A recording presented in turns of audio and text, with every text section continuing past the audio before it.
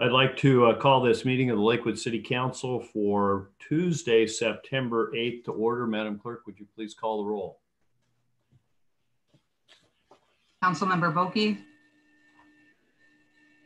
does not appear that he is with us. Councilmember Brandstetter, Here. Councilmember Farmer, Here. Councilmember Moss, Here. Councilmember Simpson, Deputy Mayor Whalen, and Mayor Anderson. Here. You have a quorum. Thank you. Now, the first item of business is a proclamation declaring September 11th, 2020 as Patriot Day and Day of Remembrance. And for this, we have uh, Police Chief Mike Zaro of the Lakewood Police Department and Chief Jim Sharp of the West Pierce Fire and Rec uh, Rescue. And I thought Chief Sharp might be out fighting fires. So let the record reflect that uh, Councilmember Bulkey uh, is uh, joining us. Is get the chief and chief on getting a lot of sleep, Chief Sharp. Um, yeah, so far. Good. Well, I have a virtual proclamation to hand you. Whereas on September 11th, 2001, nearly 3,000 innocent lives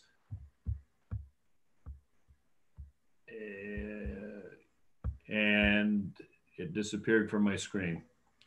Uh, whereas on September 11th, 2001, nearly 3,000 innocent lives of men, women, and children who had been going about their nor normal routines were taken from us, depriving our families and loved ones of a lifetime of precious moments.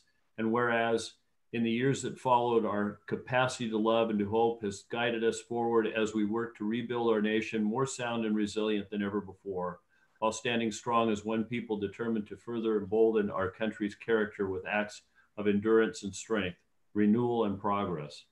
And whereas the pain inflicted on our nation on September 11th was felt by people of every race, background, and faith, though many young Americans have grown up without knowing firsthand the horrors of that day, their lives have been shaped by it. And whereas the compassion that rose in the hearts and minds of the American people on September 11th still serves as an ultimate rebuke to the evil of those who attacked us. And whereas first responders who had risked and gave their lives to rescue others demonstrated the unwavering heroism that continues to define our great nation.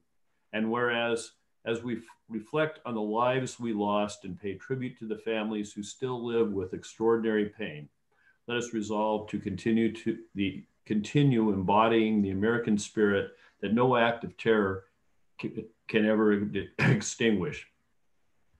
Now, therefore, be it resolved that the City of Lakewood Council hereby proclaims September 11, 2020 as Patriot Day and a day of remembrance in the City of Lakewood, and urges all citizens to observe a moment of silence in honor of the innocent victims who perished as a result of the terrorist attacks on September 11, 2001, and observe this day with remembrance in honor of those individuals proclaimed this eighth day of September 2020, Don Anderson, Mayor.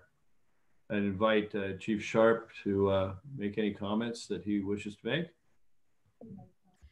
Uh, thank you, Mayor Anderson, uh, Deputy Mayor Whalen, members of the council. Uh, I just wanted to thank you for taking the time to remember the losses of September 11th. Uh, at a time like this, with, with, so many challenges facing our local communities, it would have been really easy for you to make a decision to defer this action. So I applaud the council for taking the time to acknowledge those lives lost on September 11th. I know all of our firefighters are extremely appreciative of this proclamation, and I know also the family and friends of the nearly 3,000 innocent civilians who lost their lives during these terrorist attacks. Um, it's a very meaningful gesture from the council and, and it, it, it, doesn't go unnoticed. So thank you very much for that. Um, it is unfortunate that we're unable to have our community gathering on September 11th like we uh, normally do. Um, since we aren't able to get together as a community, we wanted to, to put something out to the community from us. And so we have put together a, a short uh, video to honor uh, uh the lives lost in September 11th. And we will be putting that out on our social media on the 11th. And um, we would love for the city to also share that on your social media after after we release that. So again, uh, thank you for taking the time to, to, to do this proclamation this evening. It, it is very meaningful. We appreciate it. Thank you for those comments. Chief Zaro?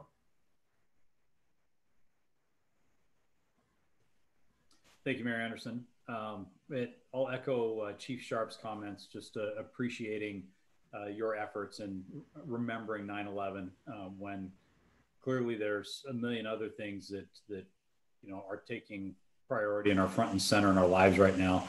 Um, one thing I'll add is that you know the some of the risks that we saw our first responders take back in um, 2001 we're seeing those same uh, risks being taken today as even as we speak we have uh, firefighters rushing in to uh, um, protect uh, people's lives and homes from the, the fires that are you know we never really envisioned being in our area. Uh, and we have our law enforcement officers side by side with them trying to evacuate people um, the risks that our first responders uh, face are, are much the same as they were in 2001 so even though we're acknowledging an event that happened um, 20 years ago, almost 20 years ago, um, it's it's the risks are still there. The same risks that they faced then, or, or what our first responders face today. So, uh, with that, I just uh, thank you again for your acknowledgement and your remembrance. Thank you, and go out and keep us safe. We now move to uh, the next item of business, which is a Clover Park School District report. And we're scheduled to have uh, board member Anthony Velez. And I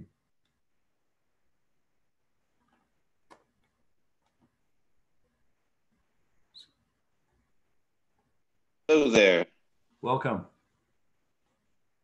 Hello, sorry about the delay. I'm having some issues with getting onto the Zoom. Uh, for some reason, I could hear and see everybody, but could not participate. Um, so I reached out to Marty, and somehow now I'm on here. So it's good to see everyone.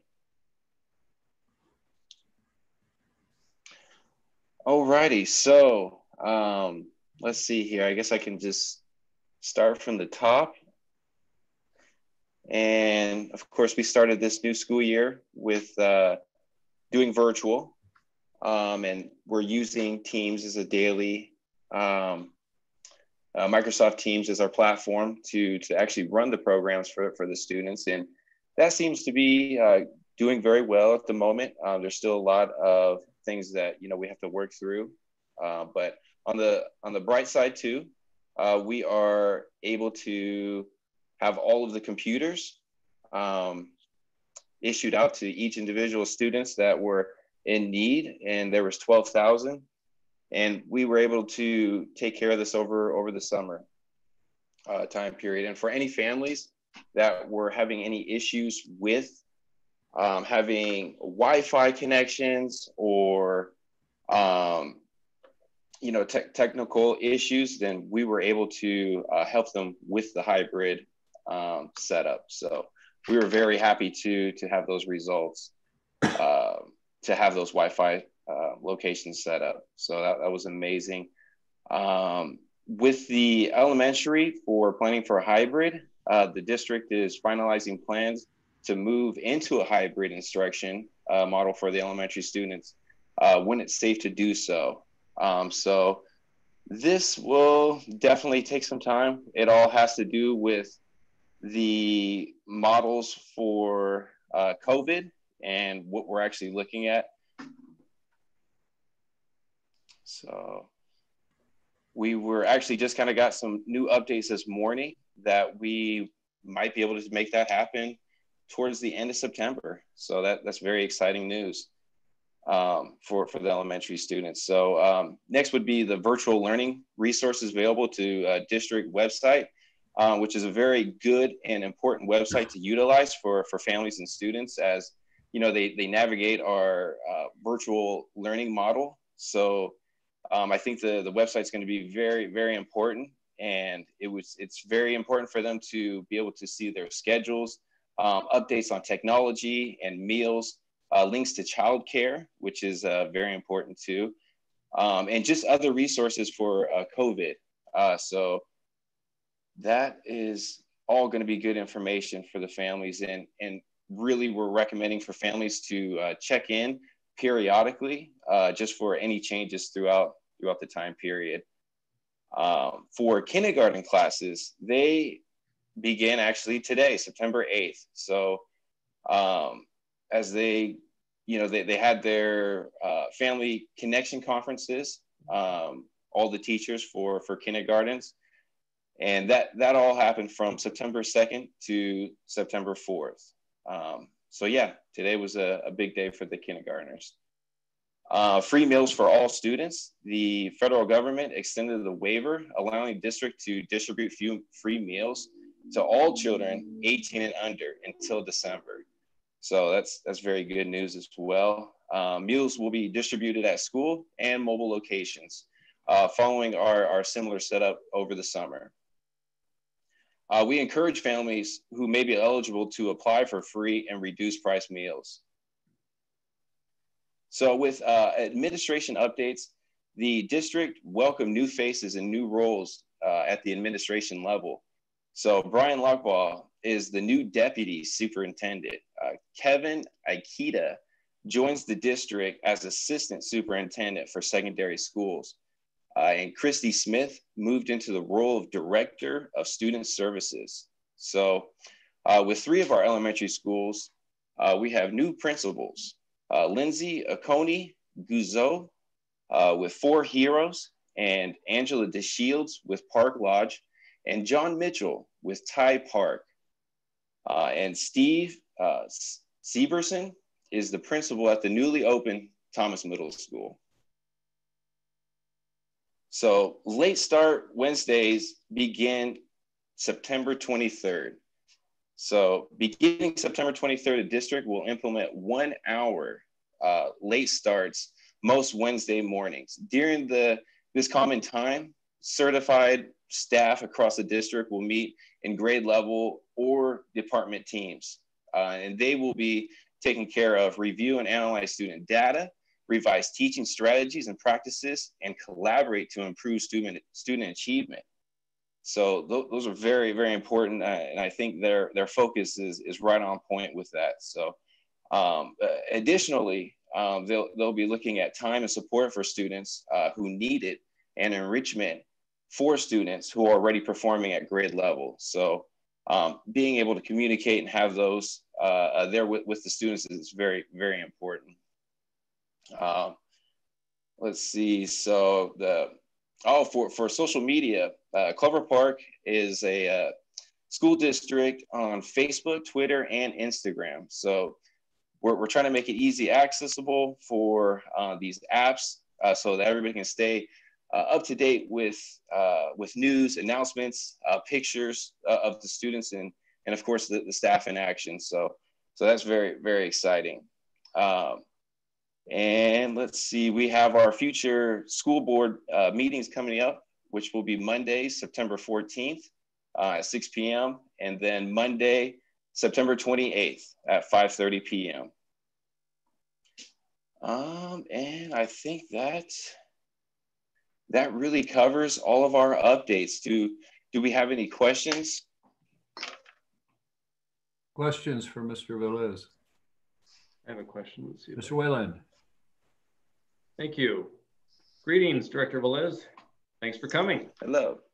Thank you for having me. You're very welcome. Uh, a question to you. Uh, my comment, congratulations on getting up and running. My, my question is, uh, how were you able to nimbly uh, issue uh, iPads or computers to all the students in Clover Park. I was wondering how you guys did so well to pull that off. Uh, you know, I don't know uh, the exact uh, details, but I know with uh, coordinating and looking at the um, of the records, as far as I understood, with uh, with other students that may have been eligible for free or reduced lunch, uh, mm-hmm. they were able to utilize that data to really make the decision um, and of course, just uh, reaching out to the families uh, so that they can be taken care of uh, properly. So there uh, does, does that answer? Yeah, I just wondered if there was, because it was an unexpected budget hit probably for the district to have to figure out how to get the tools in the hands of the kids that needed them. I was just wondering how, what the, the budgetary impact was and uh, how that was able to be done so successfully. I, my, I applaud you all for doing it. Right. So I do know there were um, donations made by local companies as well to to help with those efforts. Um, so those greatly made made a big deal for for our community. Any feedback on uh, connectivity issues, things that we might help with regard to our franchise agreement with some of the providers in the area? Um, when it comes to like Wi-Fi connection or actually using Microsoft Teams, is, that what you're referring to? Yes, sir. Yeah. Um, of course, you know, as we as we work through it, I mean, just myself um, actually had difficulties, um, and I feel more of a veteran using uh, Zoom because I actually even use it for uh, business as well. Um, so, of course, running into those technical difficulties, it, it's there, um, and I think that's where we're utilizing the website, social mm-hmm. media, to really be there. Um, and and I do know that we have IT techs; uh, they're, they're ready to help uh, answer these complicating questions and just kind of have that back support. How about the feedback from parents? Are they uh, giving the district decent feedback on how they're managing at home, dealing with maintaining kind of good observation and direction for their children while some of them trying to work? I know it's been a challenge for me as a business owner because people are struggling with dealing with all of it. Right, right, and great question. Um, it's it's definitely, you know, been a challenge, and I've heard some positive um, remarks, which which are amazing. I've heard some some negativity where, of course, it's hard for them to juggle their their work schedule, trying to be there for for their children, um, with with schooling. So that that has definitely been a a, a huge huge um, uproar right there. Um, but on, on, the positive note, uh, I've heard wonderful things to where um, they're able to, you know, you, they see their student and they're actually doing um, more productive, uh, more organized, uh, more, more attentive. And, and the parent is able to build that relationship as well, um, more so with uh, teaching them with these different, you know, scholastic subjects. So I, I believe bonds are, are, you know, being utilized in the correct way um, to, to really help and gear it comfortable uh, comfortable uh, part of this too is that you're at home, so you can kind of set up a workstation, um, and you know from from that perspective, I think it's more uh, personable. So they're able to really you know get involved and, and find the subjects that, that they're really wanting to to leave for, for their future. Great. Well, all the best of luck and uh, good wishes to all the students and the teachers in the district. Thank you. Thank you very much. Mr. Brandstetter. Thanks, yeah, Mr. Glass, so thank you for being here with us today to, to do that. I think uh, the, the entire community, uh, um, how, how schools are, are, are coping is a, uh, is, is, a matter of interest to, to everyone as we're going on. Um, you, you, you spoke about perhaps in the elementary schools to start moving from fully virtual to some sort of hybrid thing with uh, uh, in a at least in a in a, in a shorter term uh, if uh, COVID trends continue as they've been. Uh, but I, I, was I was wondering a couple of things. One is um, is the district in a position of where you're going to be able to make the decision about doing that in the timelines, or is that something that is going to be done regionally and, and with a number of districts doing things simultaneously or being told to do things simultaneously?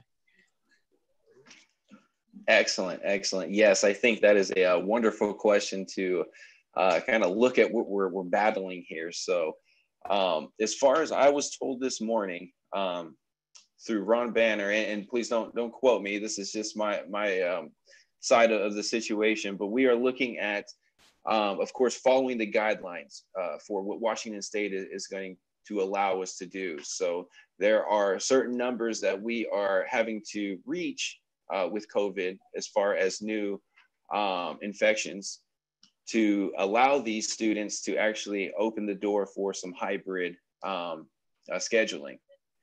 And it, the exciting news is that mm-hmm. we are potentially looking at uh, the end of September.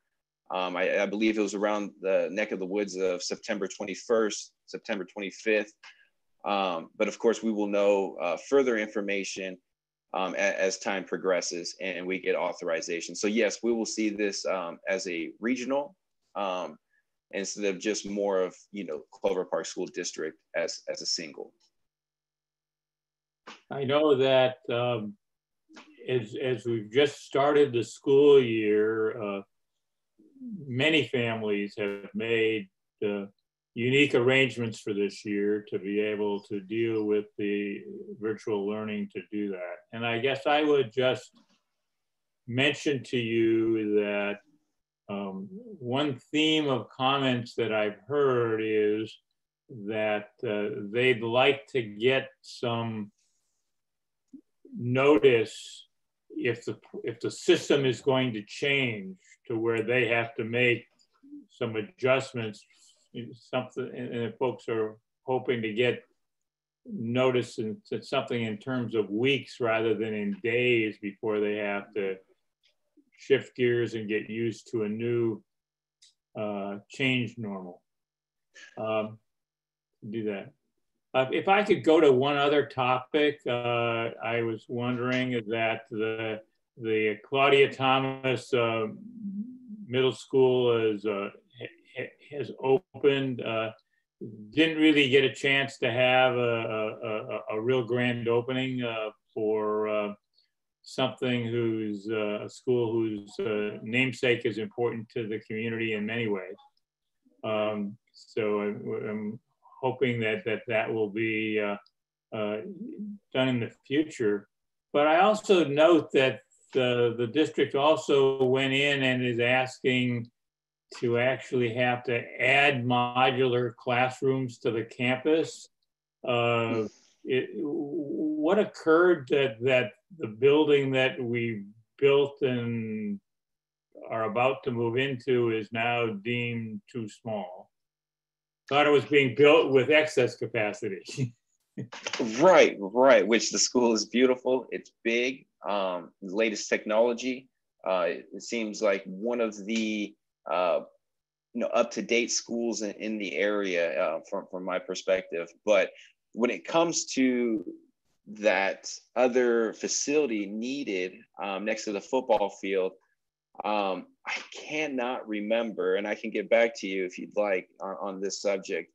Um, but they, I believe it was for more of a like like hands-on. It was an additional part um, uh, from the school itself. So yeah, not not quite sure 100% what those portables were for, but um, they did have the discussion during during the walkthrough. So um, I could get more specifics on that for you if you if you'd like, sir it's not so much that you need to do to me, but I guess I would suggest to you that that that you need to do a good job of mentioning the reason for that to the community because uh, okay. uh, generally putting portables on a school site seems like a red flag to some in the community sometime about uh, investment. Uh, but then, but anyway, but th thank you for being here and, and please thank uh, your, your, your colleagues for the the great work that, that they've done to, to transition to this particular school year. Absolutely, absolutely. Well, we, we appreciate that as as a whole. Uh, thank you very much. Any other questions?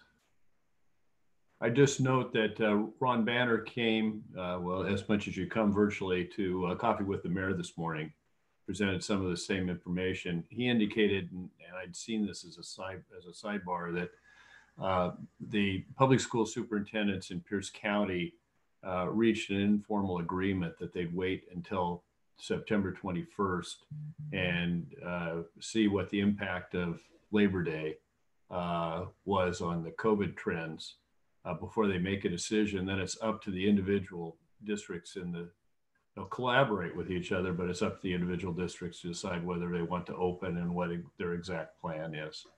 Uh, he also mentioned that, uh, as I think when uh, a question was asked about the delay for note, uh, advance notice, that they have an MOU with the uh, Clover Park Education Association that requires a one week notice so they can get their childcare finalized before uh, they uh, go back into the classroom. Though about uh, one third of the staff is, he said, is now working from the school as opposed to working from home. So was quite informative and it was great to have him there this morning.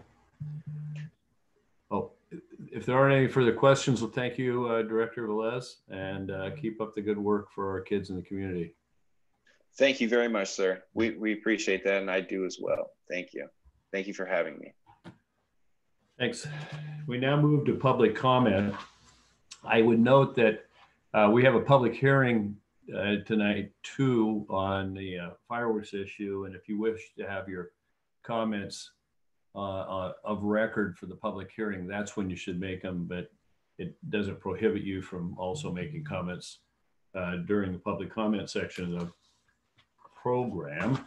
Uh, we are now moving to public comments, which are in this COVID environment accepted by mail, email, or by live virtual comment. Send comments in advance by mail or email to Brianna Schumacher, City Clerk at 6000 Main Street, Lakewood, Washington 98499. You see on your screen, you can also uh, call in uh, at 1253 215-8782 and enter participant ID 868-7263-2373, which is the Zoom ID. Comments were received uh, before the meeting and up to one hour before the meeting. They have been provided to the City Council electronically. Uh, Madam Clerk, would you indicate, I know we did receive some comments. You might read the names of those uh, com commentators, please? Mayor Anderson, we did not receive any public comments. The comments that were provided to the city council were part of the public hearing related to fireworks, which we'll address. Um, okay, excuse me. That, that I'm getting way ahead of myself. You're right. Thanks for the correction. So those were uh, no no comments were received in advance. If you'd like to make a virtual public comment, please uh, sign in as indicated. Upon entering the meeting, enter your name or other chosen identifier and use the raised hand feature to be called upon. When you are unmuted, please provide your name and city of residence, such as Mary Moss, Lakewood, Washington. Each speaker will be allowed three minutes to speak. Uh, outside of the public comments, all attendees on the Zoom meeting will continue to have the ability to virtually raise their hand see and hear the meeting, but will not be able to speak after their testimony in public comment is completed.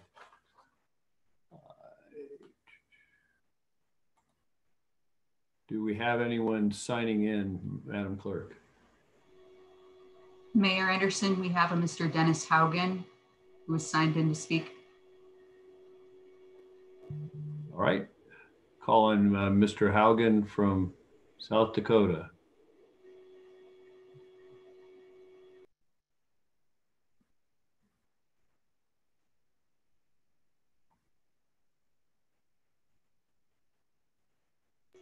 I've asked Mr. Haugen to unmute his microphone. It appears that, it, that his microphone is still muted. There, can you hear me now? Yes. Okay, I'm Dennis Haugen from uh, the state of Sioux Falls, South Dakota. I'm a voting citizen here. I had to show my driver's license and my uh, social security number before I could get a citizenship here and be able to vote. but ever since I left Washington, and I realize this is this falls down from Seattle, but it'll eventually roll down to you and the suburbs as is some of the violence that's going on is what is happening. It rolls down to the suburbs eventually.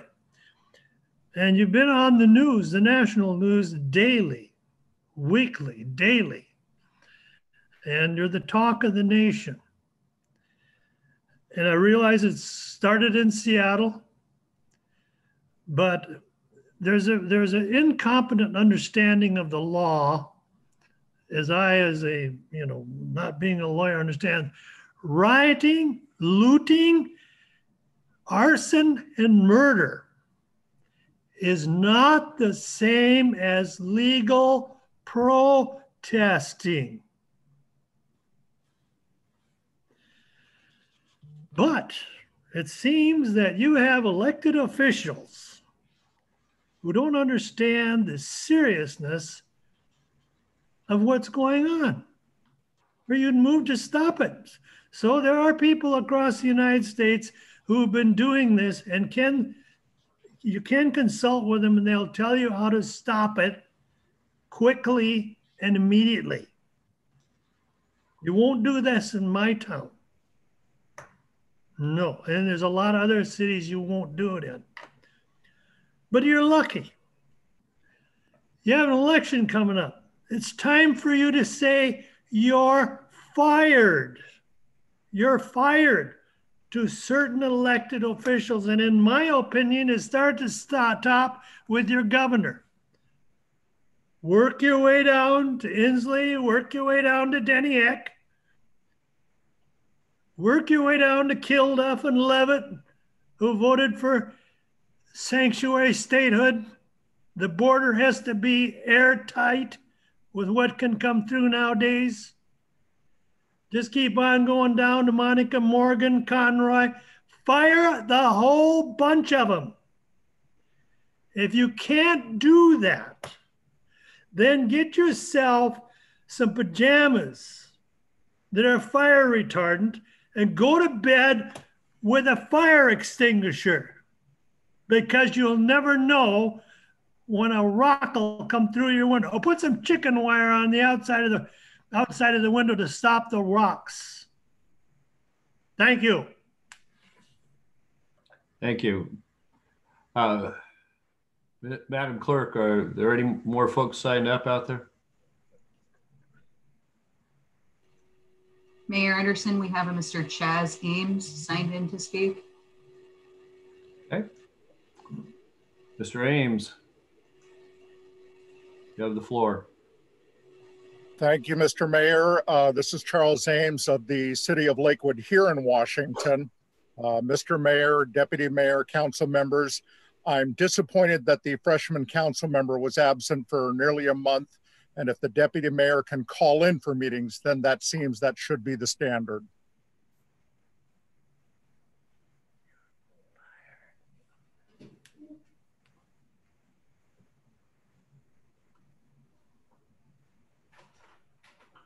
Is that your comment, Mr. Ames? Yes, sir. That is all. Anyone else out there, Ms. Schumacher?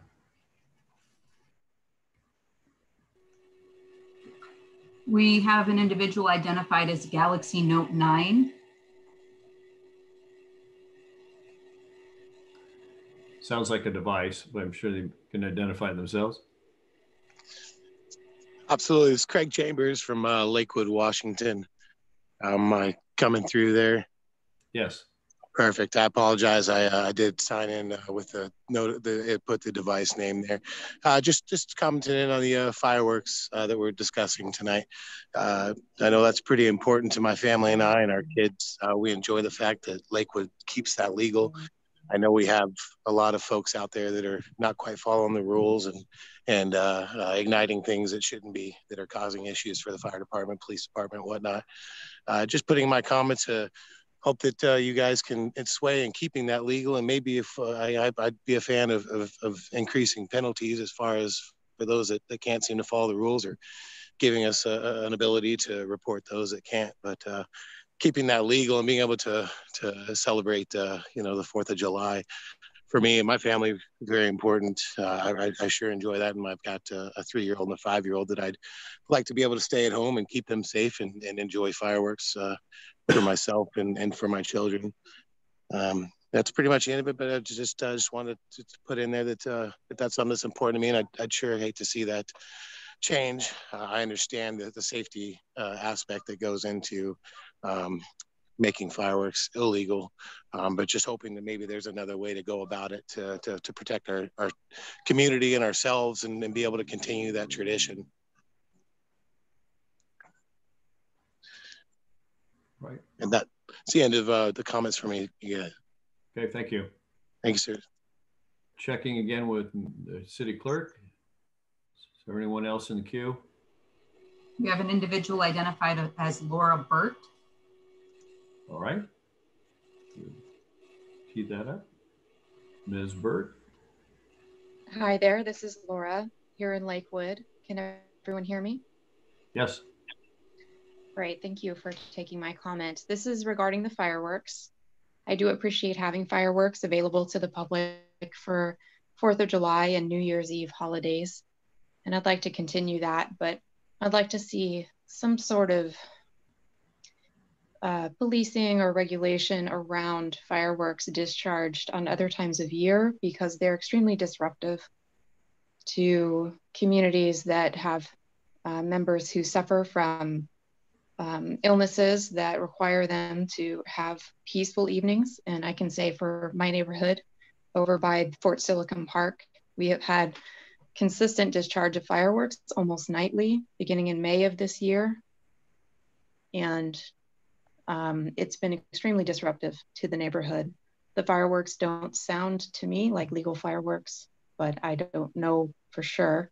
Um, they're extremely loud and they do disturb all the families in the neighborhood that I have spoken to about it. So I just wanted to let you know that it's a concern for me and my family and others in our neighborhood. And that's the end of my comment. Thank you. Thank you. Ms. Schumacher.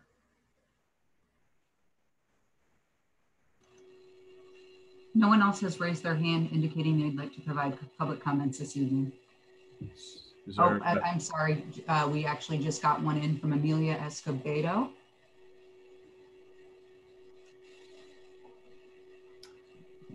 Is Escobedo.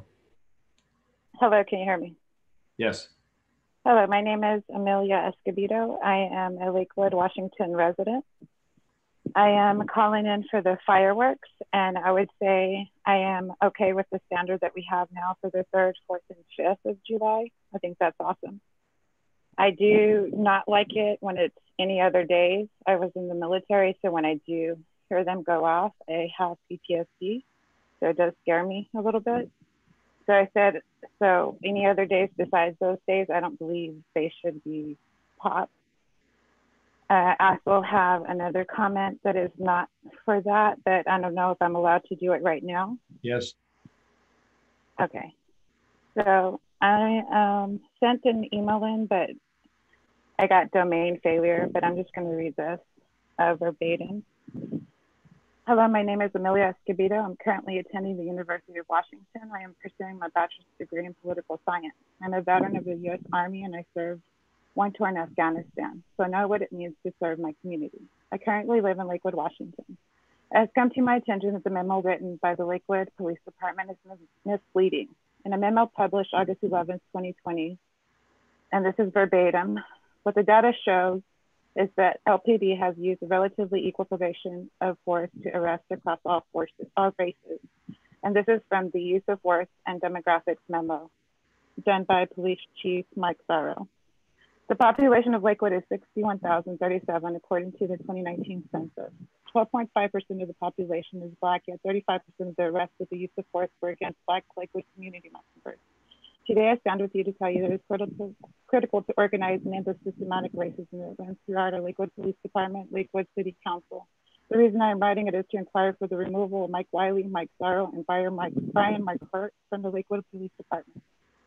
We need, oh, left my place. I'm just going to go through it. Let's. Uh, after being found guilty in the Leonard Thomas case, officers have been allowed to serve the Lakewood community. Mike Wiley is currently on paid leave due to the Saeed Working case. Our community needs body cams on all officers, not just vehicles. We need accountability for the deaths of Saeed, Daniel, and Leonard.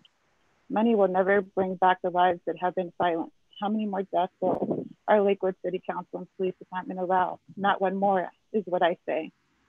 Say his name, Saeed Joaquin. Say his name, Leonard Thomas. Say his name, Daniel Covarrubias. Black lives matter. And if Black lives don't matter, then mine does not either. Not one more. Thank you.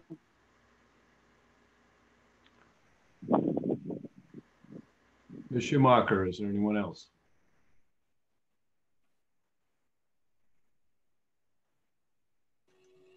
Mayor Anderson, there is no one else signed in to provide comments this evening. We'll call that once more in case someone is trying to sign on. Is there anyone else who wishes to make public comment? Absent some positive indication, I declare public comment closed. We now, I would note that uh, just in a, a little dig toward uh, Mr. Bulkey and my uh, daytime employer, the county council has not figured out how to conduct uh, public comment virtually, and we're doing it in a multi-state fashion. So I, I, I commend staff for making this work. Uh, we now move to the consent agenda, Madam Clerk.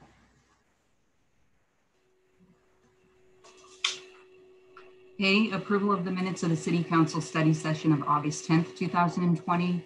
B, approval of the minutes of the City Council meeting of August 17th, 2020. C, approval of the minutes of the City Council study session of August 24th, 2020.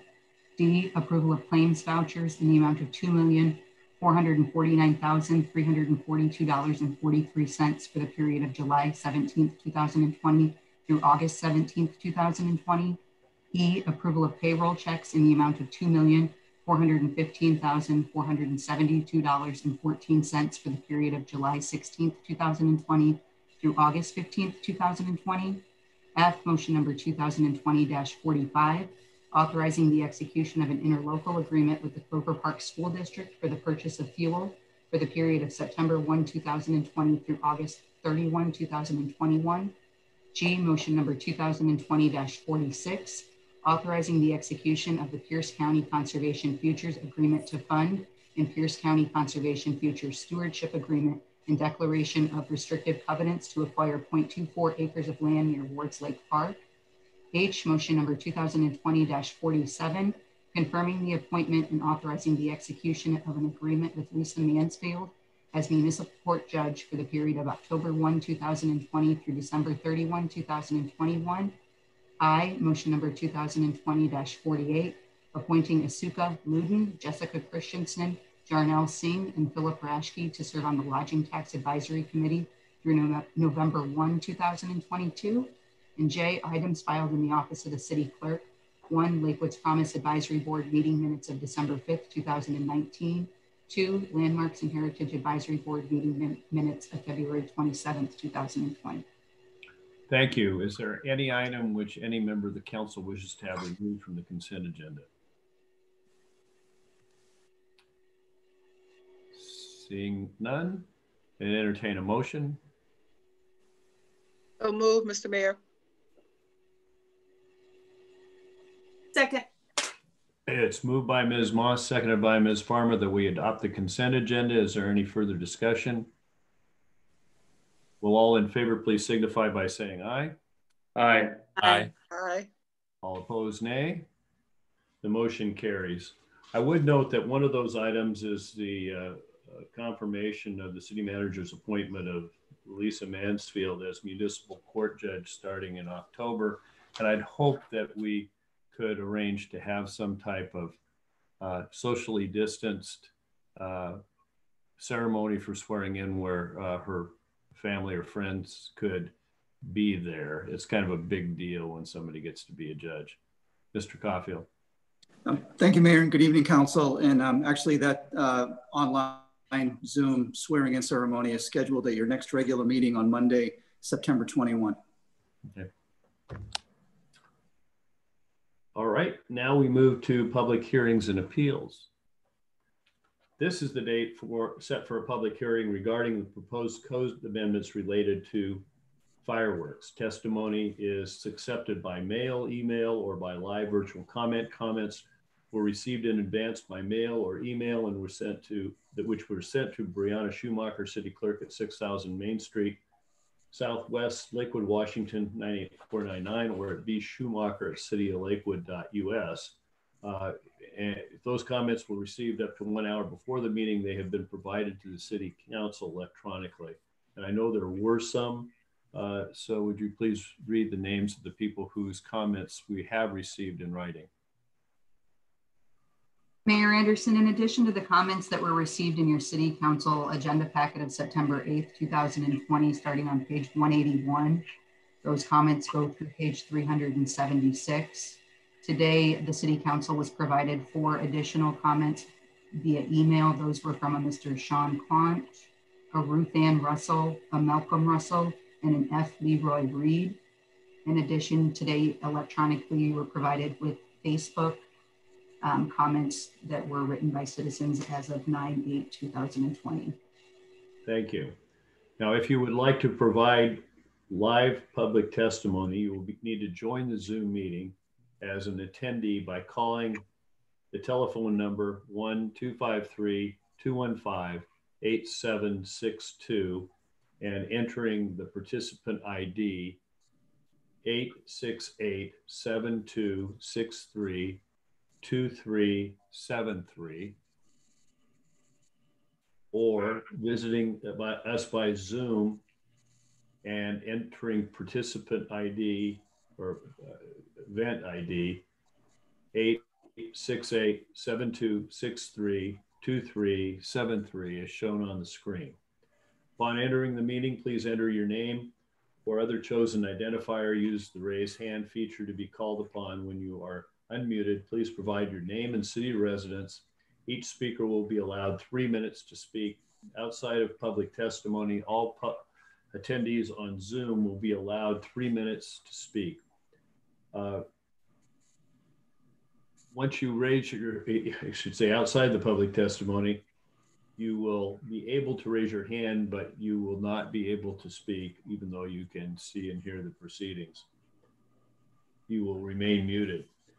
Uh, I would note that the principal difference, uh, besides being uh, kept as a record on this particular issue, public testimony in a public hearing is limited to the uh, subject at hand. It's to address the firearms regulations. To uh, kick this off, we have City Attorney Ms. Wachter. Good evening, Mr. Mayor, Deputy Mayor Whalen, members of the council. I'm Heidi Wachter, the city attorney for the city of Lakewood. I think this is the third time that we've brought fireworks before you in this calendar year, but as you are all aware, it comes up about annually. And one of the uh, disconcerting pieces of fireworks legislation is that whatever the council enacts, it doesn't take effect for a full year, and that's because of the way the state law is written at the direction of the council, we have collected the written comments, Facebook comments, opened this for public input, tried to get as much as we could uh, before the council because our understanding is that the council was very interested in the perspective of the citizens. In a normal public hearing, what we would do is just open it have the testimony before you, perhaps take some written comments in advance and put it all together before the council. This is a little more of a broad approach. Uh, tonight we have with us uh, Chief Zaro and someone from uh, West Pierce Fire to answer any questions the council may have at this point. But as I've indicated, uh, the council has looked at this a couple times already this year what we're looking for after the council has had an opportunity to consider public input is direction. We are prepared to go in whatever direction the council deems appropriate.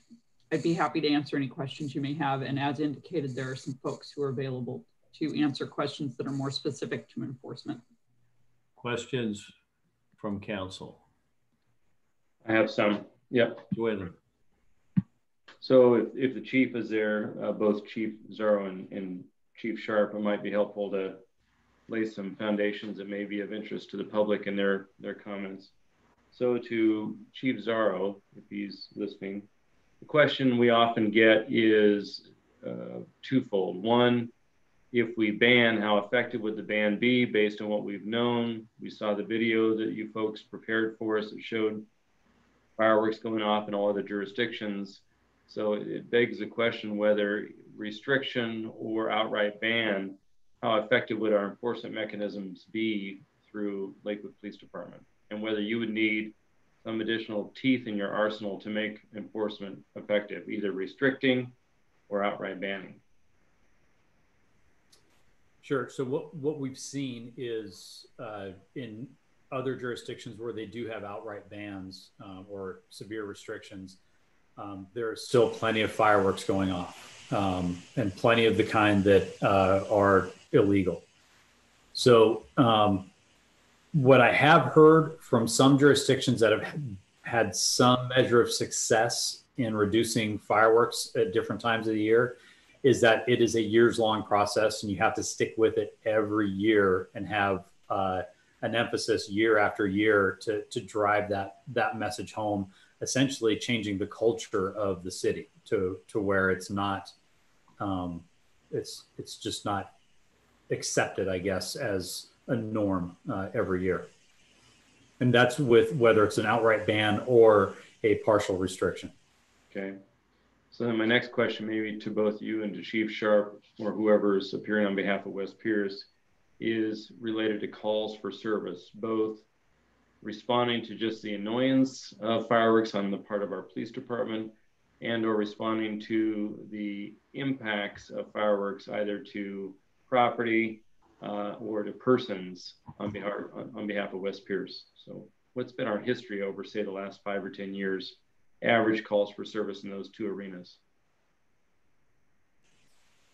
Well, I'll jump in here first and then let uh, Scott address some of the fire department calls for service we do see a, uh, an increase in calls for service on around the 4th of July.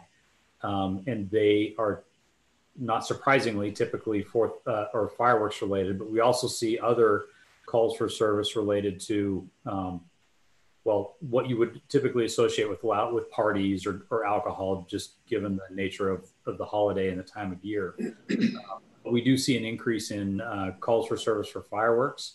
Um, one of the struggles we have is um, we might pass four other illegal discharges on our way to, or four other fireworks discharges on our way to the one that called in. Um, so uh, we do get the calls. It's just a matter of you know, addressing all of them or having the ability to address more than just the one that called. So restricting, again, just you, Chief Zaro, restricting potentially the discharge opportunities to just July 4th and January 1 as recommended by the uh, Public Safety Advisory Committee. Um, how effective do you think you can be with your narrow focused attention on those two days in terms of responding to calls for service? Mostly for health and safety issues, I assume, because they would be allowed those two days. Right. So uh, our focus would probably I know that on New Year's Eve, that's one of the days that we're looking at as well. But given what the weather usually is on New Year's Eve and around that time, that's really somewhat of a non-issue. I mean, it's okay. it's not necessarily as much of a safety issue as we see mm-hmm. in the hotter months around the fourth. Okay. Um, for us, our our focus would be on what we change. So if we change things on the third and the fifth, that would be our focus. We'd probably you know, re- respond as we do now on the fourth. Okay. The third and the fifth, because that's going to be where the change is. That's where we would um, have the the most effort and uh, need the most education and enforcement. Got it. So Scott, what about West Pierce's experience with regard to calls for service over the last few years, both in terms of injuries to persons and or property? And I'm referring to fires or other types of impacts to property. Thank you, Deputy Mayor. Yeah, uh, very similar. Um, some of the data that we pulled, uh, July, July is always busier than August. Mm-hmm. And then it's usually busier by about a third as far as uh, structure fires, single company response, or just general alarms. And then we also focused on July uh, 1 through 5, um, which is typically very busy because of the 4th of, 4th of July holiday. Mm-hmm. And those uh, call volume days uh, increased another 60% over the normal call volume for July. Mm. Um, so we do see a significant uh, amount of calls uh, increase during that short period of time. We staff with additional units. Um, this past year, over the three day period, uh, July 3, 4, and 5, uh, we reported to the uh, state fire marshal. We, in Lakewood, we had uh, 12 brush fires, uh, one with exposures, and we did not have any injuries. Um, and that just, it kind of ebbs and flows. You know, certainly uh, weather certainly plays a, a big factor in that as well.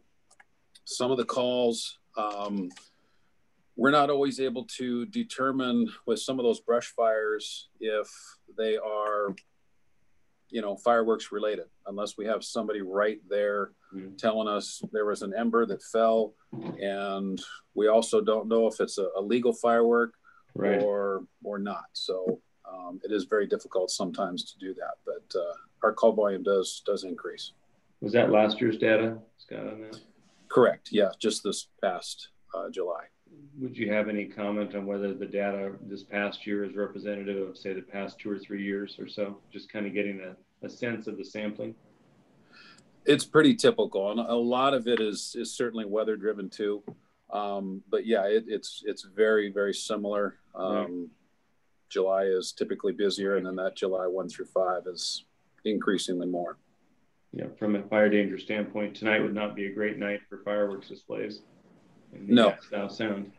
Uh, quick question for you. Would, does the, the fire department have an opinion or a position on whether they would prefer the city uh, ban altogether or whether they would be fine with the restrictions down to one to two days a year as opposed to the current schedule?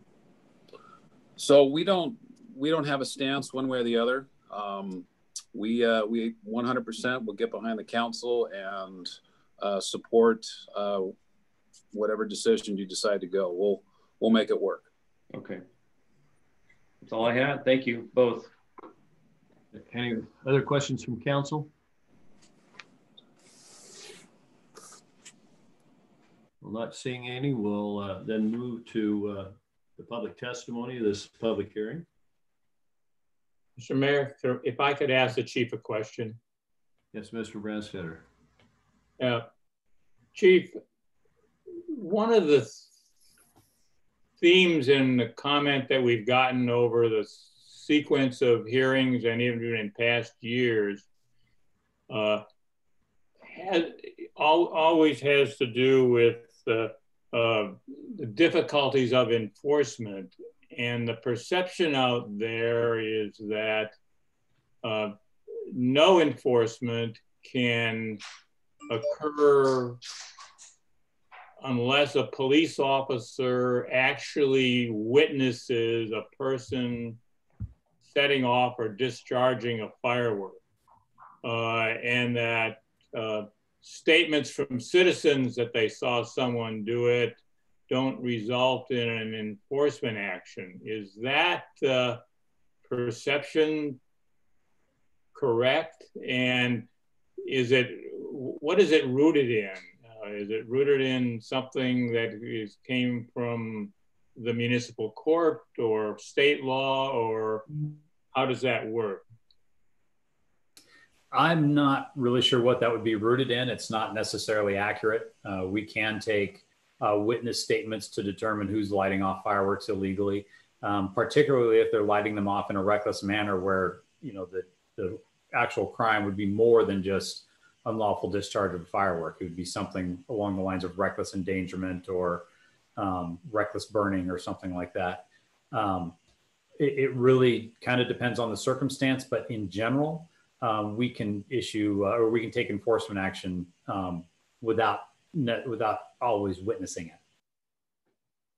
And, and one of the other themes is people are really concerned about a much more prolonged period of fireworks from June until this week uh, that uh, that goes off. That it doesn't seem like enforcement activity on the days of when their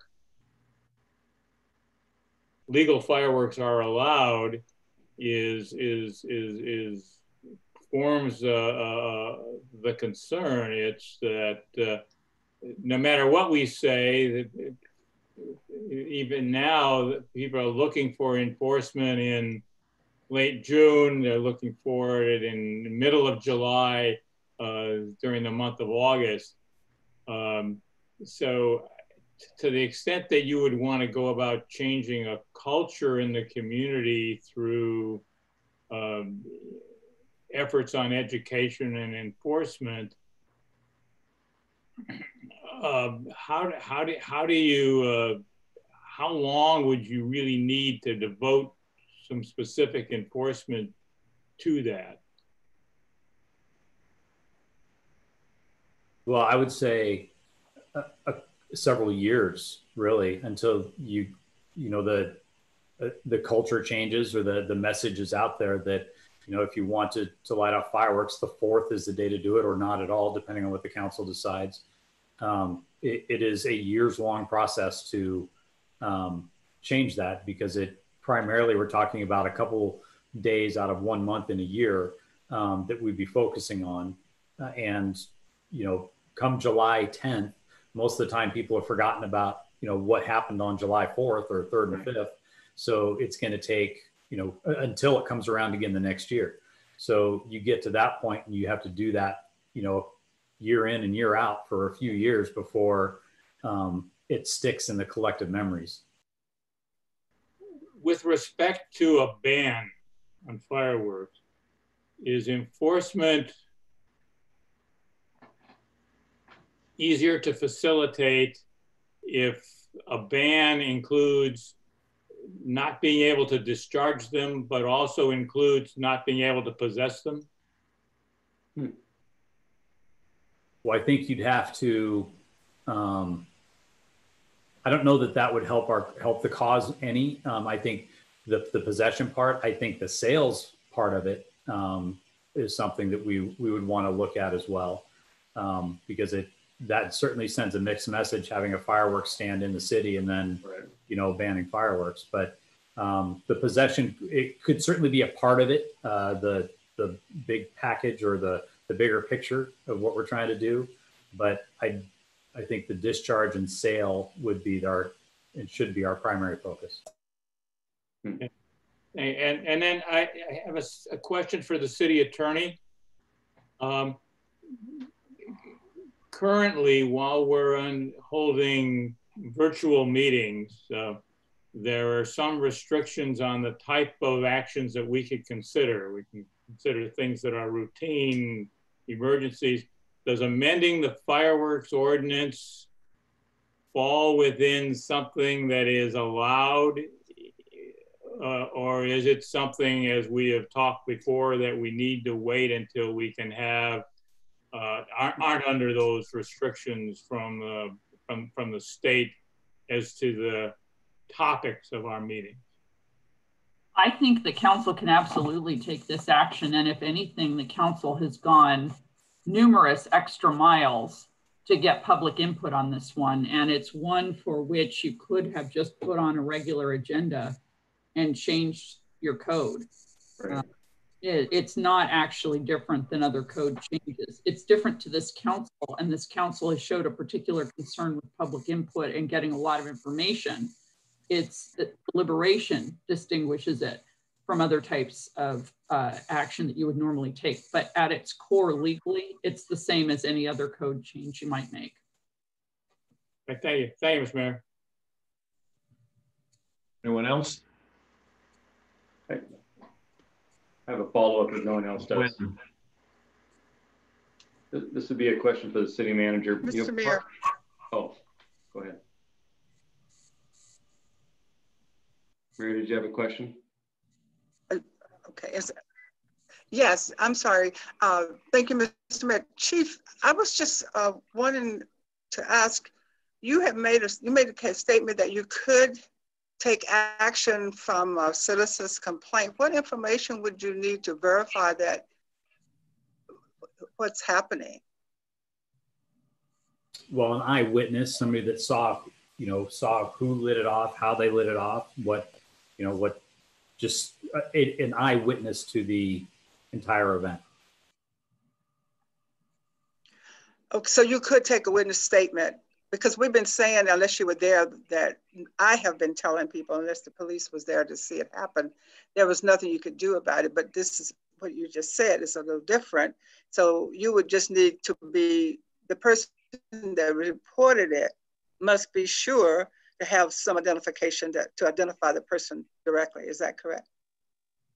That's correct. Now, the, you know, every situation can be different. You can change one variable in in an incident, and um, it can change what we can and can't do. Um, mm-hmm.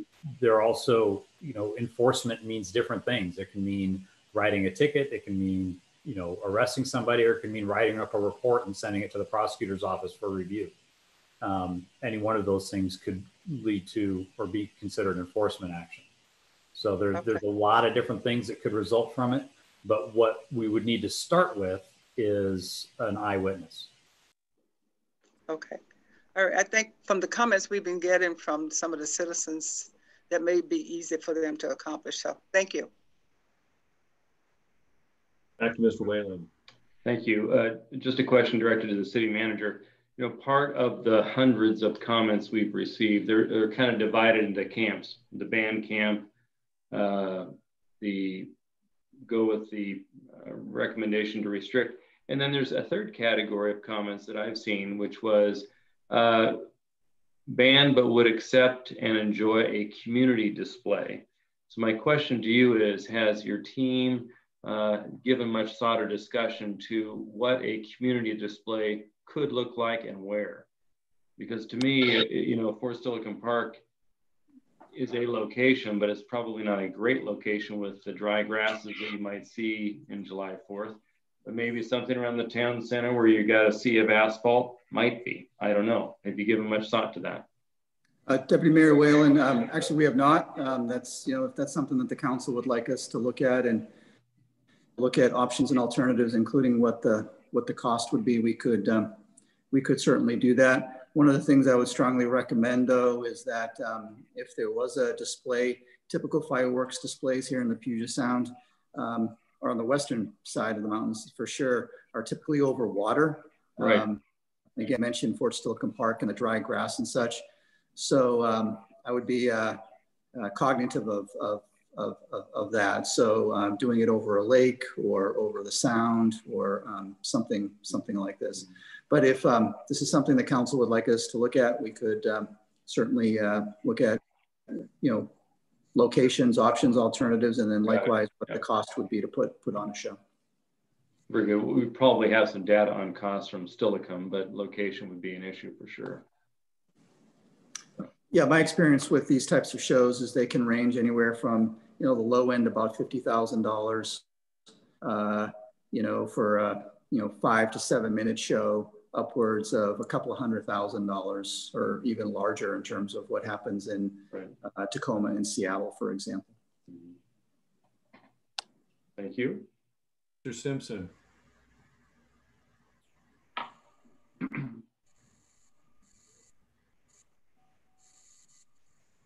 You're on mute, John.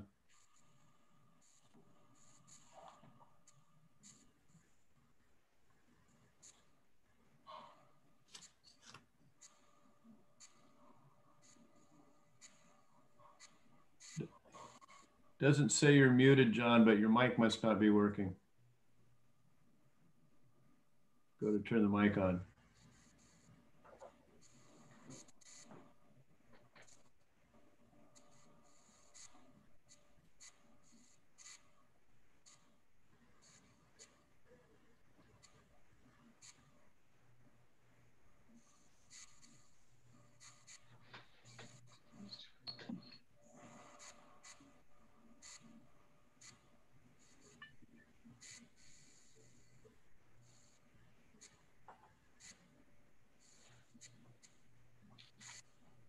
So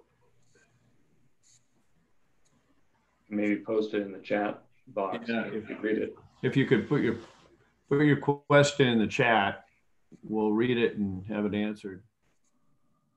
So I think we have the chat disabled. I don't know if that's an option here on this platform. And the other Um, option, John, would be to sign out and sign back in and make sure that you turn your mic on when uh, you're signing back in. We'll hold on for a minute for you.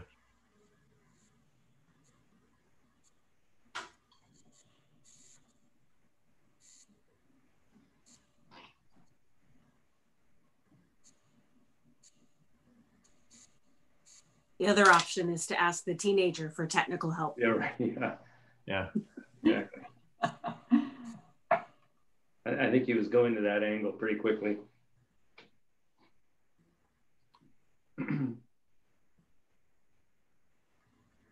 Yeah, my 18 month old grandson ma- managed to reprogram the Roomba and now goes off twice a day, whether he wanted to or not. You can program to chase cats. It's even better.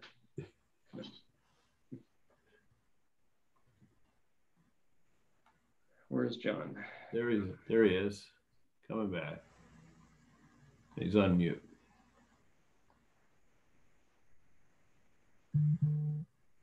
There he goes. There he is. No sound. No, we're not hearing you.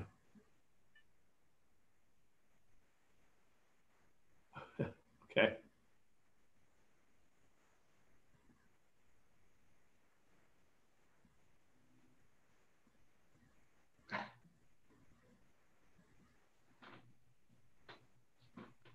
I hope this is a good question, Mayor.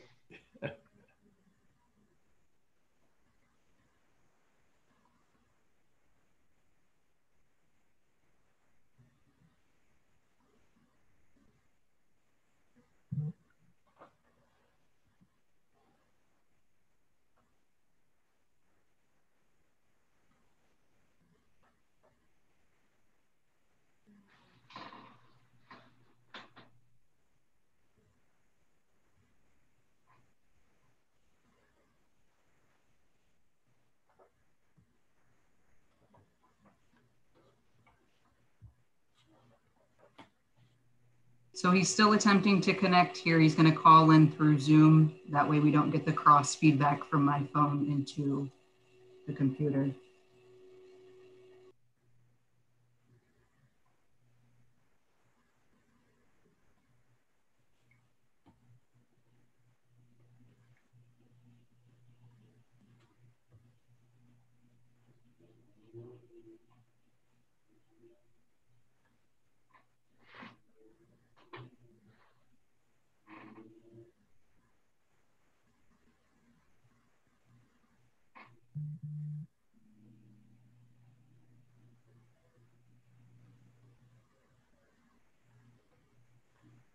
There we have a six, seven, eight signing in.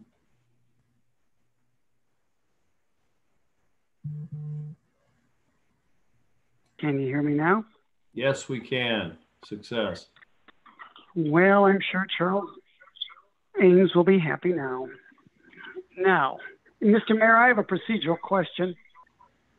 Do we provide in, input to the city staff about what direction we want to go now, or was it after the um, uh, public comment? We're going to do that after the public comment. Okay, that's all I want to ask for now. Thank you. Now, I'm not going to hang up, so I'll just listen this way. That's all right. That works. Any other Thanks. questions from council? And we'll move to the public testimony. And I've read through that already. Uh, Upon signing in and raising your hand electronically, you'll be called on and have three minutes to speak. Do we have anyone queued up? Ms. Schumacher?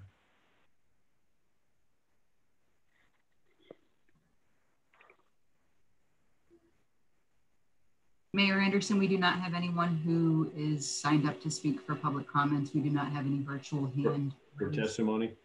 Correct. So if, is there anyone out there who wants to uh, testify at the public hearing on fireworks? Ask again, Ms. Ms. Schumacher, is anyone showing up electronically on your screen? No, they are not, Mayor Anderson. Well, seeing none, I declare public hearing closed. So now we'll discuss where we want to give some general guidance to the, uh, how we want to give general guidance to staff and what to come back with. And of course, we can amend, rewrite that when it comes back, but just where, uh, see if there's a consensus as to where we want to start. Knowing that this will not be in, would not be in effect until July 4th, 2022. Anyone wish to render an opinion? Mr. Bocchi. Mr. Mayor, I just have a, I just have a question. I want to, I want to get this right in my, in my mind.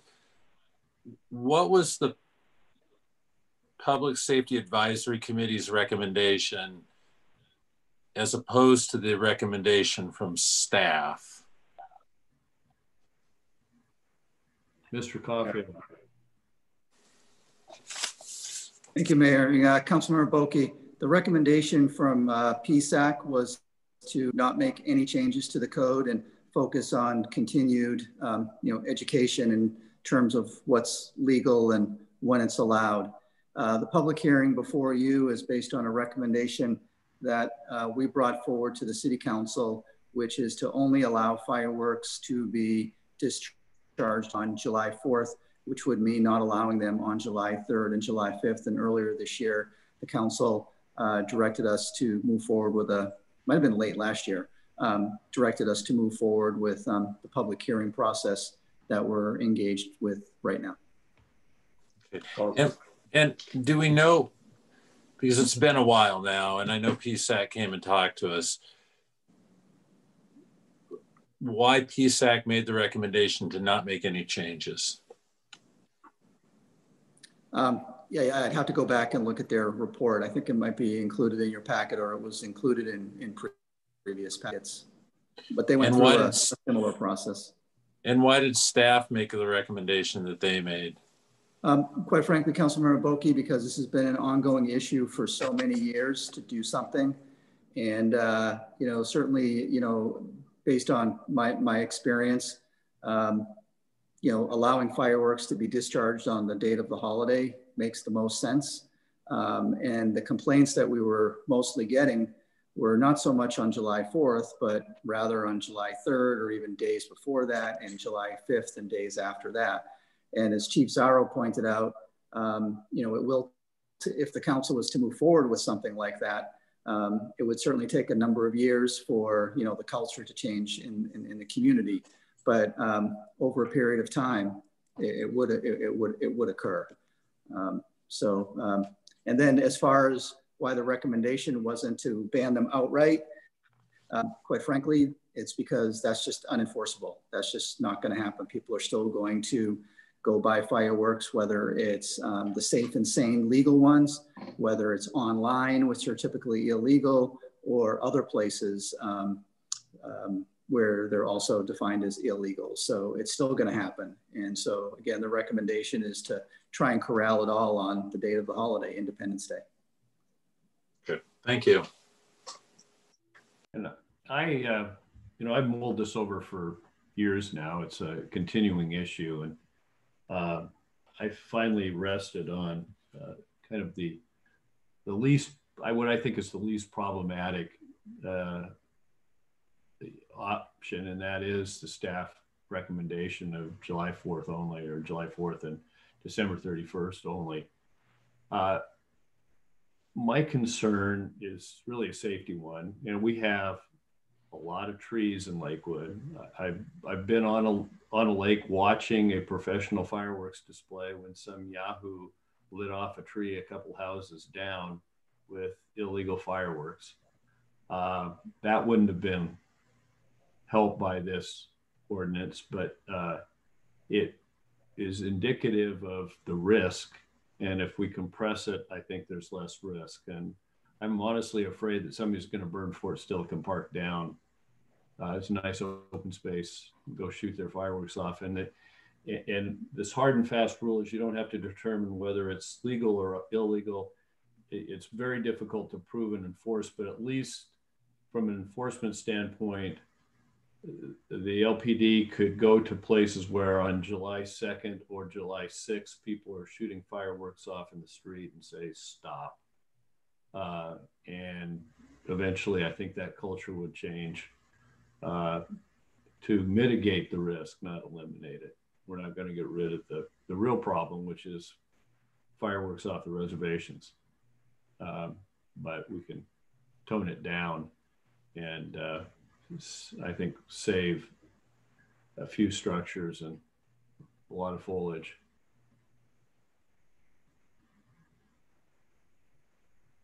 Anyone else have any guidance? Mr. Whalen.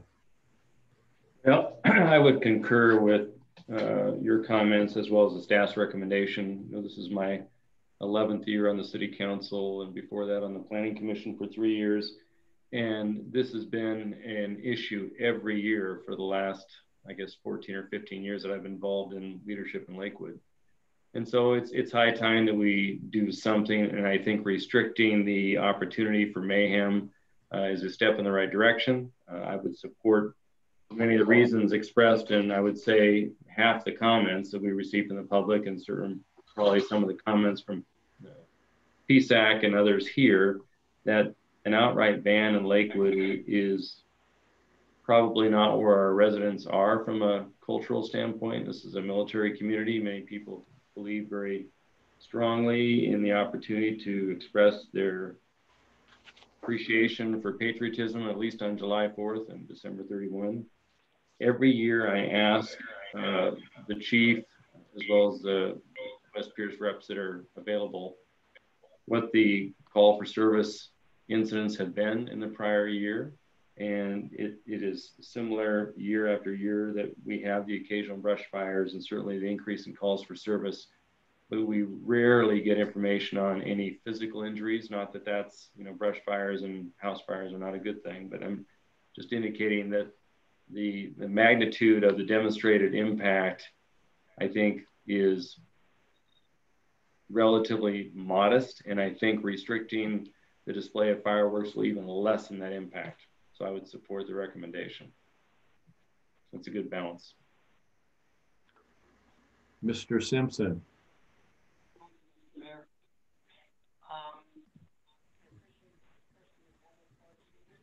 It's going to have to use your uh, your hands. You yes. Better. Guess I got to do this. All right. I have to respectfully disagree with you and the deputy mayor. And what I would like to give direction to city staff is a ban on the sale of and discharge of fireworks in Lakewood. And I say this for a number of reasons. Some of these reasons are personal, others are based on what I have had citizens tell me. My first reason fireworks scare animals, and pets like mine do not like this at all. And there are a lot of people in Lakewood who have expressed the same sentiment to me. Uh, two, PTSD. I am familiar.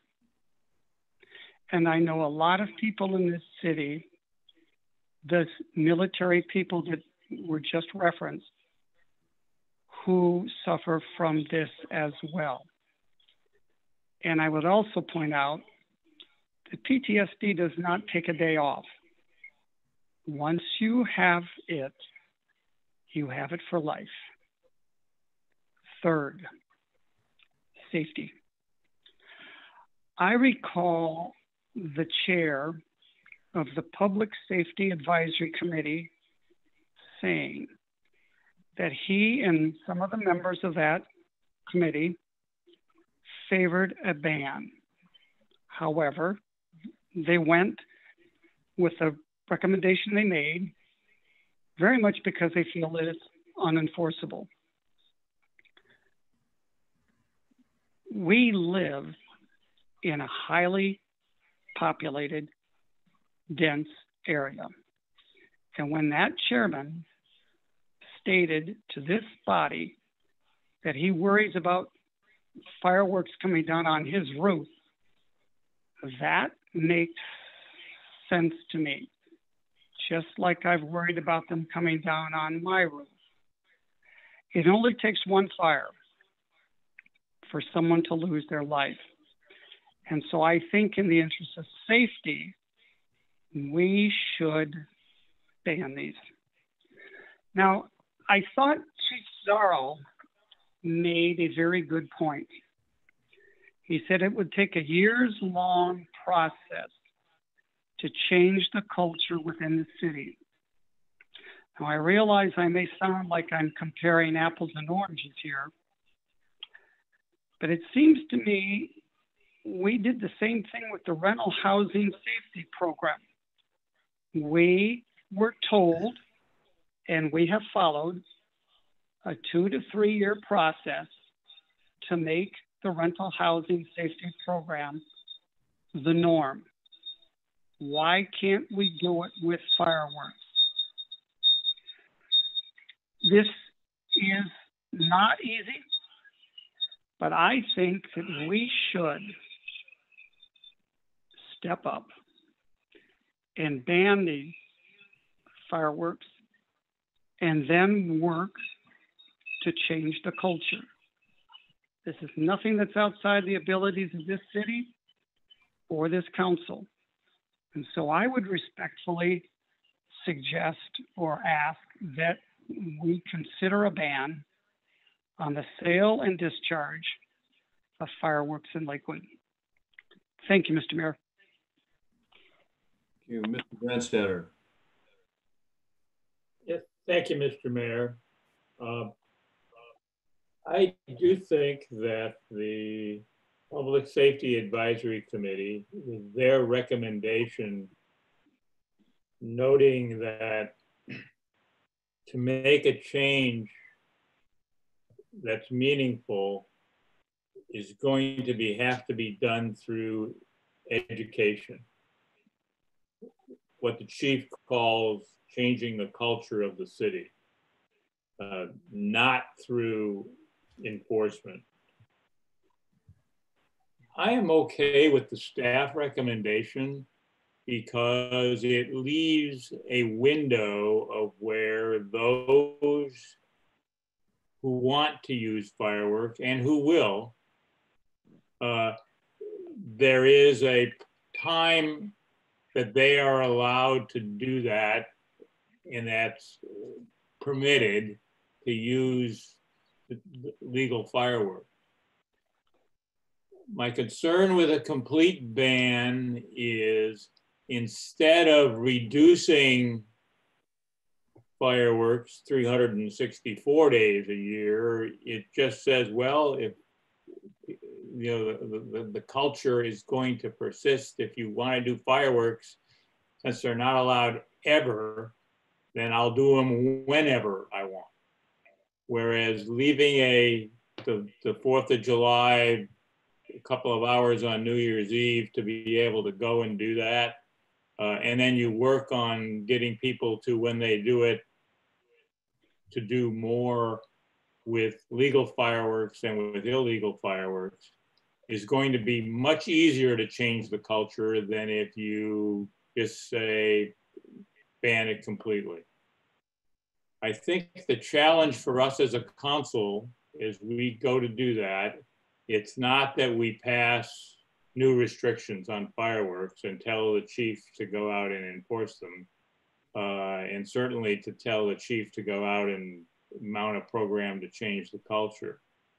Is that uh, go and with the staff recommendation and change it, or we could leave it as it is now but we do need to invest some resources in changing the culture and of educating folks. Uh, and those those resources include some dollars so that there can be some dedicated enforcement teams, as the city of Tacoma does and uh, has to do that. Know, but also we need to use some of our capital and our influence at the state level, to get them to work with the tribes to limit the availability of the illegal fireworks that many, many of the comments that we have, those are the types of fireworks that are disruptive to animals that are that are, create problems to do that and that are the most dangerous in terms of being a fire hazard. So we need to be working on the to convince the state to be able to make changes at their level through negotiation of the compacts with the tribes to reduce the source of the, the, the fireworks that are the real problem. Uh, so at you know at, at this point in time, Mr. Mayor, I, you know I would suggest that we bring the staff recommended recommended ordinance back to the council for consideration, uh, but that we don't forget about it when we come to budget considerations and we look at exactly now how are we going to show that we really mean to take meaningful effort to change the culture and have that reflected in the next biennial budget that we adopt.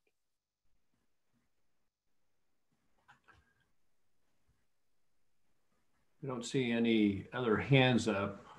I think from what I've heard, I would suggest that uh, staff come back with an ordinance based on the staff recommendation, one on a total ban, and if there's a second uh, to Mr. Simpson's desire, we can act on that. I think that might be the first first in the order of battle of whether we want to do a, a complete ban. And also, uh, we haven't discussed it, but we can think about it along the way. Independently, uh, consider banning the sale of fireworks, which uh, proliferates usage. So then we would have those options available to council to uh, discuss and consider. I think that would cover the what what I'm hearing from council across the board. And we'll see where the majority lies. Any other suggestions?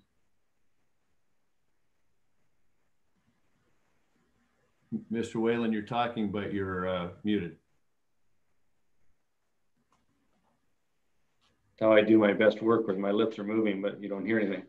Um, if we're talking about a proposed portion of an ordinance about banning the sale, but allowing the discharge, are we effectively then telling people go forth and pick up your illegal fireworks at the, the local Indian reservation and bring them into Lakewood and discharge them on July 4th? Or your fireworks around the, the, the tribes sell legal fireworks in addition to the illegal ones, but yeah. um, around the perimeter. Uh, I, I think one thing to consider is if somebody's going to sell fireworks, what's the market going to be if it's really only for one day? Right. Well, that's where maybe the education piece on the safe and sane. We used to call them safe and sane fireworks. You know, we used to have snakes uh, for our kids and sparklers, and that was about the extent of it because I was too cheap to buy anything else. So, you know, if we could work on the safe and sane fireworks education, uh, and encourage that through licensing vendors who sell nothing but legal fireworks, that might be a good step in the right direction. Yeah, I was amazed when I moved to Washington as a young teen. I, I had grown up with caps, sparklers, and the little poppers that you throw down on the ground. Right. Yeah. That was it. So snakes are still kind of fun, but all right. Uh, it, what wouldn't what wouldn't be fun in this environment is smoke bombs. I think. Right. Mr. Caulfield. Thank you, Mayor Anderson. Um, so uh, we can have these options back in front of you for your review and potential consideration at your next regular meeting, which is September 21 in terms of the, the legal policy issues. The implementation, um, I'm going to need some time on that probably into early 2022 to kind of really think that through and come back and share, share that with you. I'm sorry, 2021 um, and share that with you. Uh, but we can bring back uh, the ordinance as proposed, um, as well as those two other options, which would be an outright ban on discharge and sale. And then also we can provide some language on if you wanted to modify the ordinance to also either limit or um, ban the sale of fireworks. Okay. Um, I would like to actually, if I could, I would like to point out that the, the, the hearing, the, the public hearings that you have had has really just focused on the ban. And um, so we did not let the community know, particularly those who sell fireworks, and most of them are for nonprofits. So they have not had an opportunity to provide feedback and input there as well. So I would just point that out as well, Mayor. Well, I think when we're talking about a ban, it's implied that you wouldn't be selling it. So got a lot of comment on on bans. All right, then we'll move on from, uh, that we have a plan on that, to resolutions. Resolution number 2020-13, Madam Clerk. Resolution number 2020-13, declaring the intent of the Lakewood City Council to affirm the downtown sub-area plan, development code, and planned action as adopted in ordinance number 695 and ordinance 696. For this, we have is Speir.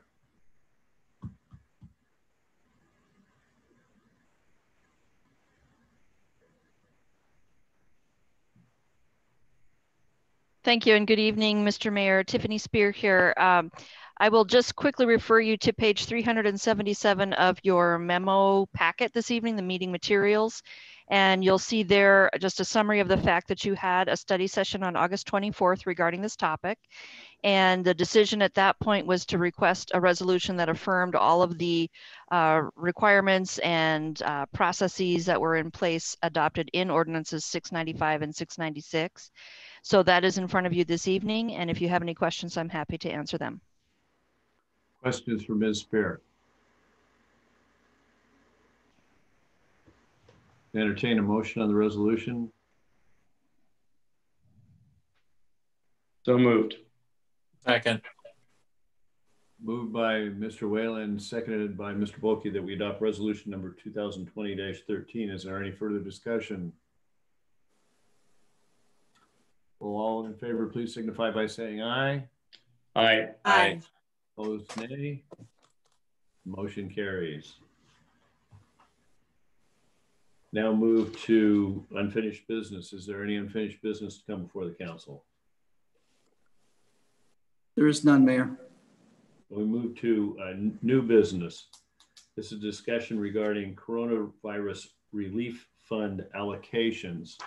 Uh, as I'm sure you all know, we have another uh, $875,000 uh, slated to come from the state. I don't know if uh, Mr. Caulfield has been received yet, uh, but to be used for coronavirus uh, relief under the restrictions both of the federal government, because it's originally CARES Act money, and whatever stipulations the state passes on because it comes from their allocation. One of those is I think we have to spend it by the end of October. Uh, and things, though things change daily, we thought we'd want to get this on uh, the docket because there's a uh, difficulty in throughput in getting the, you know, all we've tried to save our money and be very judicious about the way we spend it. This is a use it or lose it aid for uh, our community coming from the federal government, and we have to get it where it's supposed to go to in to the beneficiaries. Um, the city manager suggested that we have uh, nearly and probably a little over $300,000 in direct costs uh, that uh, can be reimbursed. Uh, there are items that were uh, reimbursed to the city. uh, out of this fund. These are items which were not budgeted, which is one of the CARES Act requirements, uh, such as overtime for emergency management, uh, doing work to make things uh, more COVID safe and the like. Um, and so first I'd like to ask John Caulfield to uh, speak to that element of it and then go to what other elements that we think might be the best use in that short time period for our uh, community. Thank you, Mayor. Actually, if it pleases the council, our strategic planning manager, Tiffany Speir, has a very brief presentation regarding the use of the $1.79 million to include our recommendation on how some of these monies can be used. And, and, and you're right, Mayor.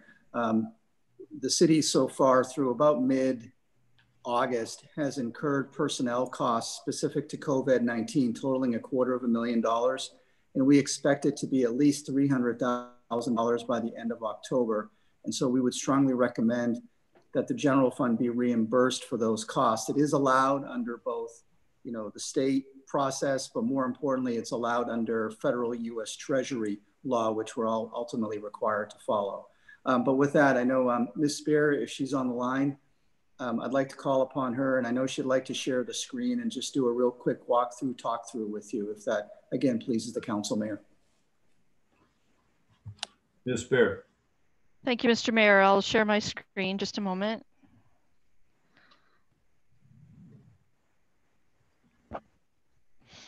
Maybe I will. there we go. Uh, so as you're well aware, in May, the governor uh, distributed 1.79 million to uh, the city of Lakewood for coronavirus relief fund use. And the criteria that were put in place by uh, Treasury and then Commerce reinforced that was they are necessary expenditures due to COVID. They were not accounted for in the budget as of March 27th of this year and they were incurred between March 1st and October 31st. So that process has been ongoing since the council took action. Uh, and uh, for the last few months, city has been implementing what was enacted in resolution 2020/11. Uh, both those funding priorities that were identified in the budget that the council directed. Then this last week, or a little over a week ago, August 31st, the state announced a second round within the same program, and that has resulted in a distribution of another 895,000 to the city of Lakewood. These funds are allowed um, to be used per the same criteria as the first round. There's um, been notification that, excuse me, there may actually be another month to spend these, but we're waiting on final affirmation of that by uh, the Department of Commerce. They need to send out some guidance documents. So going back to what's been done with the first run, just so the city council is aware of the final details, 80% of what was dedicated from the first round went to quote external uses, so public partners, the business assistance program with small grants, and then human services. And then in the internal side, what was spent today was 20% of that first round. Um, there was technology expenditures to allow for remote working as well as um, making the buildings and facilities more COVID safe. There was the facilities and PPE, personal protective equipment purchases made to date. And then there are some additional facilities costs which are pending and there's some dollars left for that. So when looking at how to spend this new round, uh, whether it's October 31st or November 30th, um, a couple of things are recommended to you. As the city manager just mentioned, uh, the $300,000 for payroll costs as of August 31st, that amount was at actually 266, 205. So we fully expect it'll be at at least 300,000 by the end of October. Um, looking at potentially allocating up to 250,000 for some additional improvements to the city facilities, in particular the HVAC systems, um, and then some additional PPE. And that's not just masks and sanitizers, that's things like uh, more permanent signage, um, some additional barriers or stanchions for separating people at events should those start to happen with more frequency, those types of things. And then there would be the remainder and those could be used uh, perhaps the same uh, way with those priorities set in the first round, or there may be other things that the council would want to consider given the fact that there are now either through Pierce County or nonprofit providers, other sources of rent relief, for instance, or other types of business relief. Um, so where does the city want to best spend those remaining funds? So with that, I'll turn it back over to you, Mr. Mayor, for a discussion with council. Yeah, before I start, I'd just like to uh, say, uh, Ms. Speir made a good point. I think uh, one of the things we need to do is coordinate with other sources. And for example, uh, although uh, the uh, there are a lot of things that you could do for schools. schools got direct payments of CARES money, ACT money. That's where a lot of those computers come from. Uh, they also got uh, a boatload of PPE from uh, county's CARES Act funding, enough to get them started. And it's also considered a requirement of basic education. So it's really the state's responsibility to continue what they what they need uh, to hold school.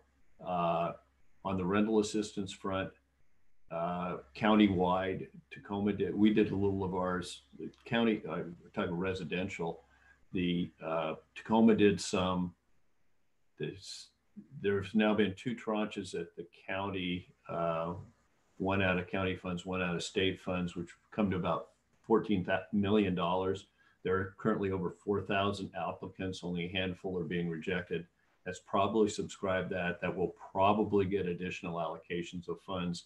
They're available countywide. And one of the byproducts of our um, rental uh, inspection program is that the city manager was able to give Pierce County uh, Human Services uh, a list of every registered rental in Lakewood so that people, landlords could be contacted. And that has, uh, I think when the, the dust settles, we'll see that Lakewood fared very well on rental assistance being paid directly to landlords, although there's a, a still a pent up need one thing um, that uh, is oversubscribed uh, both at the county and city level is commercial rent. Uh, it's been reported that the commercial landlords have generally renegotiated leases, but we've got people out there who uh, mom and pops signed a longer term lease, business failing, or just teetering on the edge. They're on the lease for a long period of time as individual guarantors. So you've got a business that's going to can go out of business, losing uh, employment for employers, the mom and pop owners who are personally on the hook for the lease deficiency, and a landlord who doesn't give money. So I think this is my, my before I kick it to you, I my my top priority would be more of the same in our commercial uh, lease category uh, so that uh, we can get multiple beneficiaries from that money. And it seems to be an area that has a lot of need uh, and isn't as sympathetic uh, in the public eye so that as people getting evicted. So uh, it's, it's probably not going to get huge amounts of additional state money. We'll get some.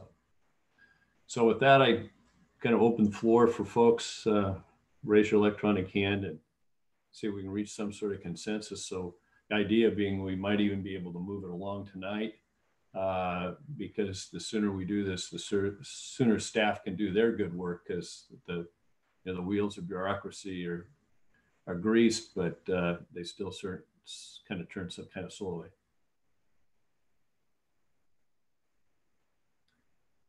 Opinions from council? Yeah, Don. Mr. Whalen? A couple of questions. I guess one to the city manager with regard to the uh, potential allocation for overtime charges. What were those money or what were those hours typically charged for? Um, Deputy Mayor Whalen, it's actually not just overtime, it's actually regular time that city employees um, were doing in support of COVID 19. Uh, for example, uh, first of all, I'd like to recognize um, Ms. Speir. She has been um, a serving point and the leader of our team and the uh, distribution of the $1.79 million has been doing an outstanding job on it. So the time that she has, for example, devoted to this would be a part of that.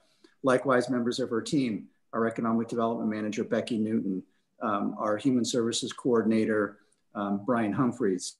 Um, but then going back to March and April, um, when we were in more of an operation, op emergency operations mode.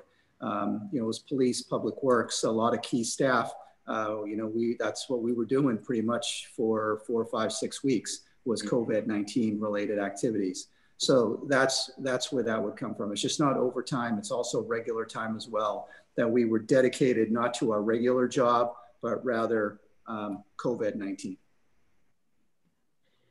So I guess the question is, to the extent the regular job didn't get done, uh, or didn't get done as effectively as it might have had we not had COVID-19 impacts, you know, where do we best direct those resources? Uh, you know, I hear on the street that uh, it, it's taking time to get permits done uh, a little bit. We're open for business, get that. But if there was an opportunity to direct funds to ensure that we have adequate and full staff in that area as we come out of COVID to ensure that we have the best opportunity to get our business feet uh, up and running, I would be supportive of that. Um, go ahead. Well, I was going to say, first of all, if you have somebody who has a problem getting permits, please let me know so I can follow up with that. Um, uh, uh, but more importantly, we, you know, even though we've been focusing on COVID-19, you heard me saying this back in, you know, March, April, May, and June. Um, you know, we did not meet a, we did not skip a beat in terms of doing our day jobs as well. So not only did we uh, allocate resources in support of COVID-19, we mm-hmm. are still doing our proverbial day jobs. Um, well, I, appreciate that. And that, that's why I guess I'm having a hard time noodling around the thought if there wasn't overtime that we should be covering, which would normally have come out of the city budget, but we were, you know, just well, doing yeoman's work at our job well, day to day. Remember now we have salaried employees, for example, as the city manager. So I don't work 40 hours a week but I can certainly charge off time to COVID-19. Meanwhile, I'm still working during other hours doing regular city business and getting those things done. And likewise, that also pertains to my staff as well. So social service wise, is, is uh, Mr. Humphreys given us any indication that there are certain areas of need that have been as yet unmet that we might help leverage dollars to reach more people? Um, actually, I would um, direct that question to Ms. Speir. She might have uh, better information on that. I know that um, he has been talking with everybody that has been part of community collaboration, getting their feedback and input on that. But um, Ms. Speir, do you have anything to add to that? Um, just briefly, there was an initial amount of money allocated to human services, and then we actually added a little bit more once we saw the amounts that people were requesting through the business assistance grants. We had a little more extra. And mm-hmm. so we assigned that over to childcare services specifically because right. we'd heard from various and sundry sources that that was a need. So um, there's been additional loans put out for child service providers. Um, one thing though from LASA, which was the largest by far human services contract awarded, they're actually having difficulty at their end spending the funds because mm-hmm. they don't have the resources to distribute it out as they say they were going to. Yeah. So the idea of putting more money toward an organization yeah. that may not be able to handle what they've got so far may not be the best way to go. Um, as in terms of the types of services, though, yes, we've kind of covered the gamut of what it is uh, that that we're hearing is needed. Okay, I, I would echo the mayor's comments on commercial landlords needing some backfill assistance because they are getting hammered with regard to rent deferral requests and uh, the challenge they have with their own mortgage companies paying their bills while commercial tenants are having a hard time paying rent. So that may be an area where we can provide assistance. That's it for me. Oh, Mr. Brandstetter. Thank you, Mr. Mayor. Um, I too think that we would we want to take a look at a block of money to go towards the commercial rental costs, both to landlords and to and to businesses. Uh, I think that from what I've been hearing, that is the number one stressor for many small businesses about whether they survive or not. Um, and, and they all have different relationships with their different landlords, some of whom are working very cooperatively and others who are just reading the words on the lease. Um, with respect to um, the city's personnel costs, uh, I understand that there are employees that had to reprioritize their work to be doing things that related to COVID-19. But to the extent that they did those within their within changing what they were doing in regular hours, which were the hours that they were budgeted for, uh, I'm not thinking that I would really want to spend money extensively in that regard.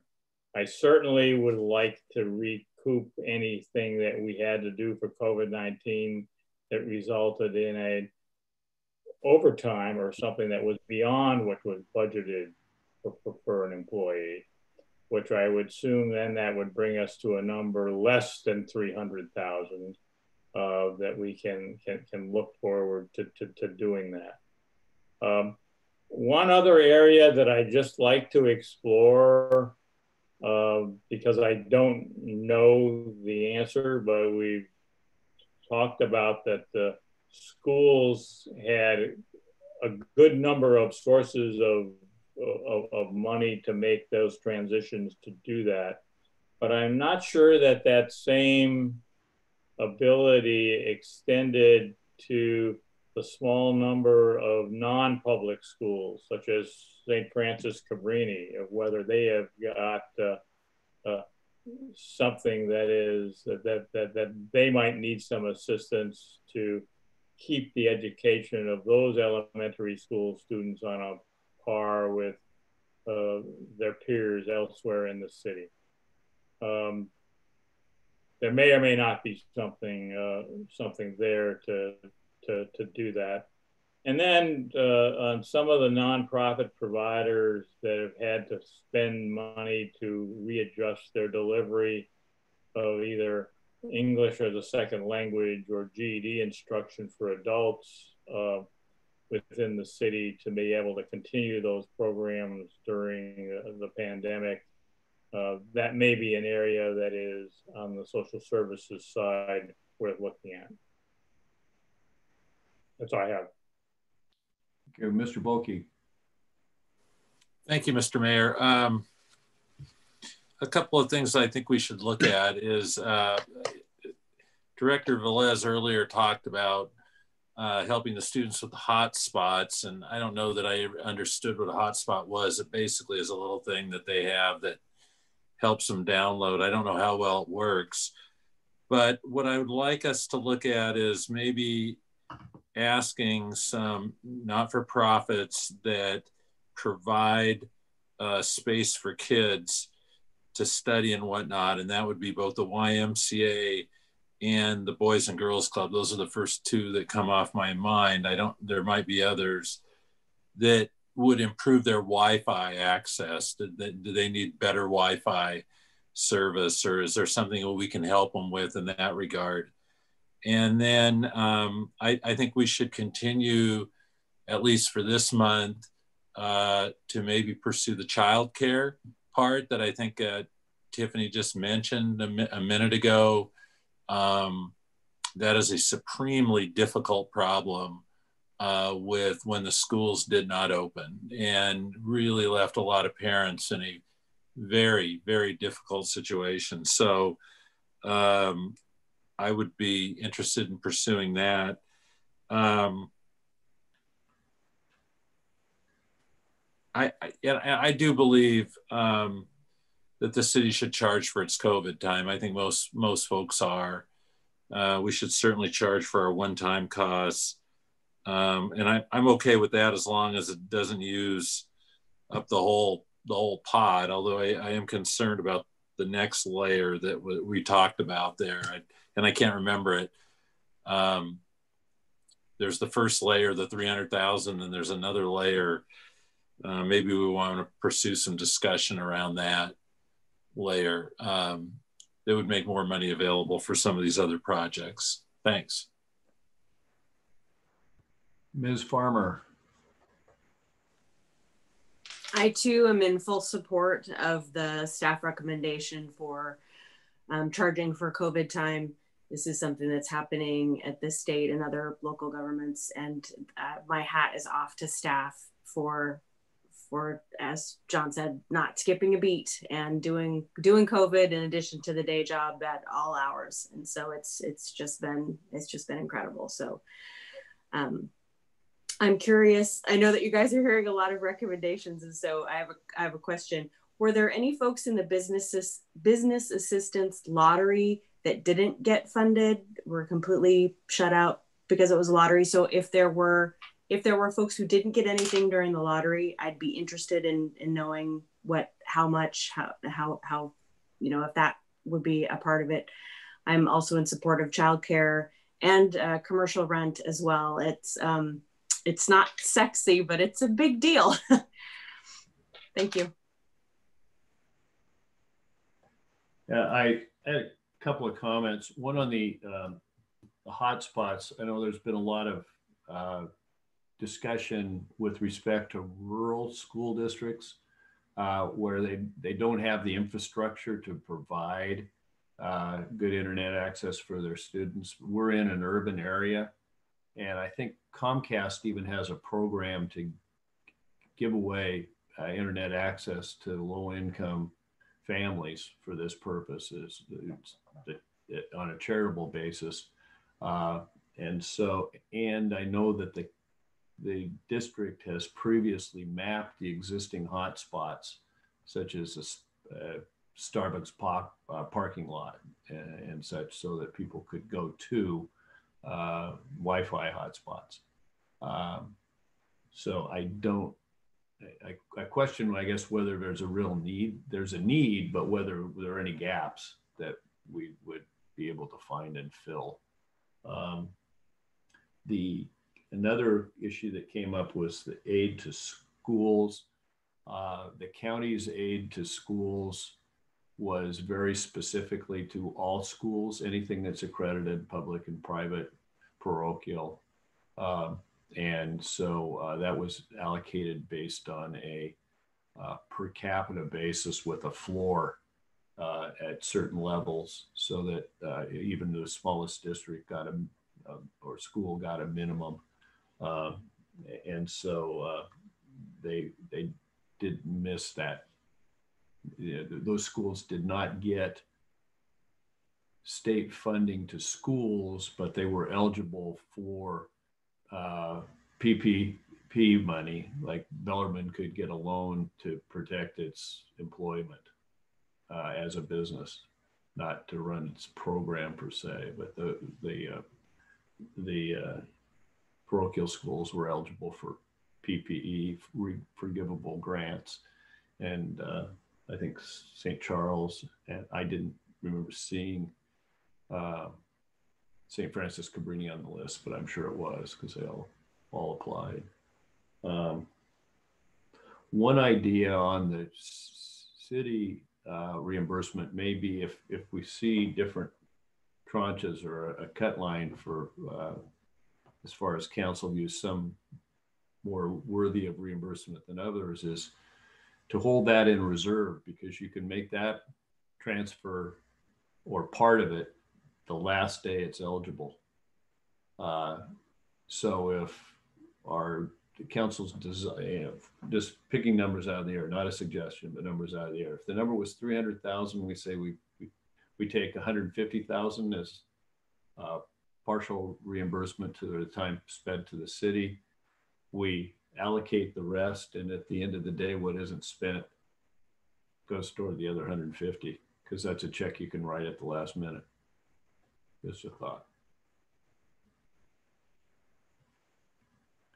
So I don't know we're any any closer uh, than we were, except there seems to be a pretty strong consensus on commercial rent. Uh, there, um, there hasn't been a suggestion to provide additional funding to food banks. I have on pretty good authority that they're well funded. Yeah. Uh, that's a been a priority for a, a number of nonprofits in addition for the government entities. Mr. Caulfield. Thank you, Mayor Anderson. Um, you know, I was kind of taking some notes here, and I think I might have been able to uh, get all of council's comments. And maybe if we just go down these one by one and see where the council consensus is, is on this, and then we can move forward if that, if you think that's a good idea, Mayor. I, I think yeah, you're much more organized at this point than I am. So why don't we? Well, I don't, I don't know about that, but uh, let me give let me give it a shot. Um, so the, the, the first one. Take our stream of consciousness and implement it. So um, and um, so the first one would be providing funding in support of commercial landlords and tenants. Yeah. And okay, I'm seeing thumbs up and head nods. Yeah. Okay. Um, the next one, and again, these are no particular order. The next one is private schools, providing funding in support of the private schools here in town. Hey, um, John. Yep. I'm going to send you the link to the ordinance that the county council passed.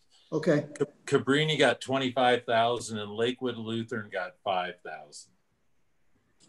Okay, so do we want to move on from private schools or do you still want to have that on the table as an option? And they got PPE. Oh, yeah. And th th this is just from the most recent one that the council passed last week or eight on 826. So yeah, anything they got prior to that on the distribution of PPE would be in addition to what they're specifically being given on this. And the school just in Clover Park got 400 and something thousand. But anyway, it's on the way, John, to you. So you can send it out to the members. Just helping you out. Appreciate that. Yeah, I think we should move on. Yeah. Okay. Um, the next, so uh, the next item would be, um, you know, hotspots in, in support of some of our nonprofits where, uh, you know, children and young people tend to congregate, you know, the YMCA, the Boys and Girls Club to see what kinds of needs they might have, whether technological or others or other needs, because we don't know. We might not know. Yeah, we could check it out. I think uh, doesn't Lakewood the the Y, which was one that's mentioned, I think I believe has uh, fiber optic, doesn't it? So they upgraded. Yeah, yeah, we got that for them a couple of years. My first or second year here, I remember that being a big issue. Yeah, I remember that. That's right. Yeah, good memory. Um, okay, so I saw a majority of folks either nod or give thumbs up. So I'm just, yeah. All right. Um, next up was childcare. Um, and uh, okay, a lot of thumbs up on that. Thank you. Um, next is um, funding and support. Oh, I'm sorry, Mayor. Tiffany was waving. Oh, I'm sorry. I'm sorry. A clarification question for that one, Mr. Mayor. When you say that, are you talking dollars directly to families or dollars to childcare providers? Yeah, good question. Um, good, good question. Uh, yeah, so childcare providers because they're the ones that have been the variety of aid programs for for individuals, and if they're working and need the childcare, they're going to have an income stream. The, the people that have been most devastated and are disappearing are the child care providers who couldn't make it through or are hanging on by a shoestring. So I guess personally, I'd like to see us help sustain the capacity or nobody has a place to take the kids. And at least 20, what, you read at least 20% of them are out of business. Yeah. What have you done so far, Tiffany? There's been about 10 child care providers contacted uh, and provided initial grants of up to $2,000, which could be used for PPE or payroll. And so I guess our first step would be to go back to those same 10 to say, hey, do you need more? Um, these were all contacts through Mr. Humphreys and his human services uh, network. Uh, the other way to do it would be to go back to the drawing board and try to locate some other businesses located within the city who provide those services. Well, and they might also need some of that commercial rent assistance that is, it looks like that we've have a consensus to help on. So maybe that's one of the groups that we should include in the commercial rent assistance right up front. It's an idea. Um, so then moving on, so then. I would not want to forget about the significant percentage of childcare providers before COVID that were home based, uh, and a looking at them to see what they need to do to keep as close to their original capacity as is prudent under the COVID things to do that. Uh, and they're a little bit harder to reach, uh, but but they've all got business licenses and can be uh, looked at. And there are some of them included in the current um, grant recipient crowd. So I know that uh, Brian Humphreys looked at both home-based and um, commercial rented spaces for childcare. And I believe there's public access to the, uh, the, the, list of licensees, uh, state licensed daycare, so that people can go check on that. So we should be able to find access to that. The ne next one that I have on the list, again, in no particular order, are city personnel costs.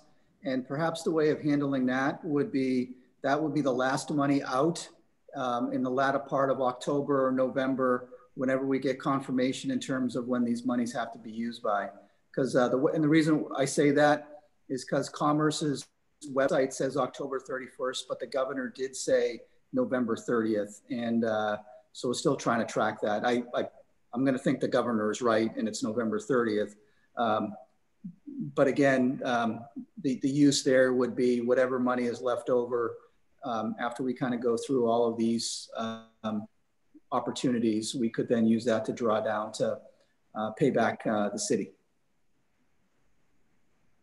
So I guess I'm a little hesitant to leave it so vague whatever money is left over. I think we yeah we could do a pretty good job spending that money. So uh, yeah, we, we could we, we, could if there were that's right, Councilor Farmer. You know, and because we could submit a request right now for two hundred sixty six thousand dollars, and actually that would be as your city manager. That's my recommendation. Yeah, that's I I I I am tending toward more of the full two sixty six. That would be that's my preference.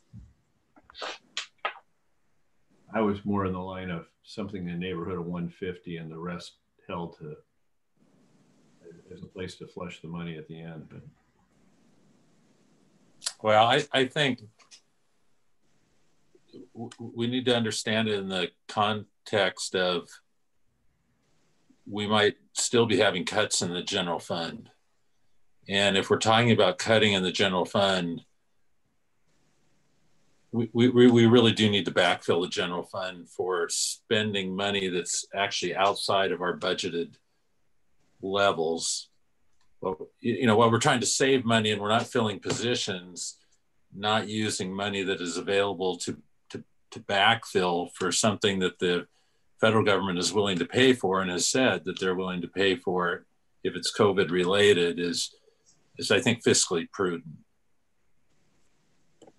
And I'd like to point out that when we did this first round, the the staff recommendation was for a larger amount to be spent internally and a lesser amount externally. And the council turned that around on it, flipped it completely opposite, and we spent the bulk of it externally. So I think now it's time to to turn our attention inward. I'm still concerned a bit about uh, the public perception that you know nobody from this nobody from the city's laid off everybody has jobs. It's working for the government, even if they can't come and do their function. Some furloughs, but as for the most part, the government has fared a lot better on the basis of newly printed money from the feds than everybody else. And, and to, I think we're expected to belt tighten uh, instead of saying us first. Uh, so uh, I, I agree it's, it's warranted and there's a need. Uh, is that a greater need than keeping a mom and pop restaurant alive? But I, I'd like to I'd like to see as much aid as possible go to the people on the street. And logistically, John, where does that go? For example, if the let's just say the overtime component was 60 of the 260.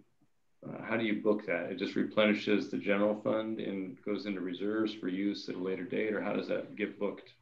Yeah, Deputy Mayor Whalen, um, yeah, just like any revenue, it comes in as a revenue, like on a P&L statement. So it will come in as a, um, you know, under state law, we have a certain bars account that it would be assigned to. So it would be a one-time revenue source um, that would that would come in, and you'd see it on you'd see it on the revenues. And then the backup, the backup would be the deal that we have on the expenditure side. Got it. Okay. Just like excess sales tax or whatever. Yeah. Yeah.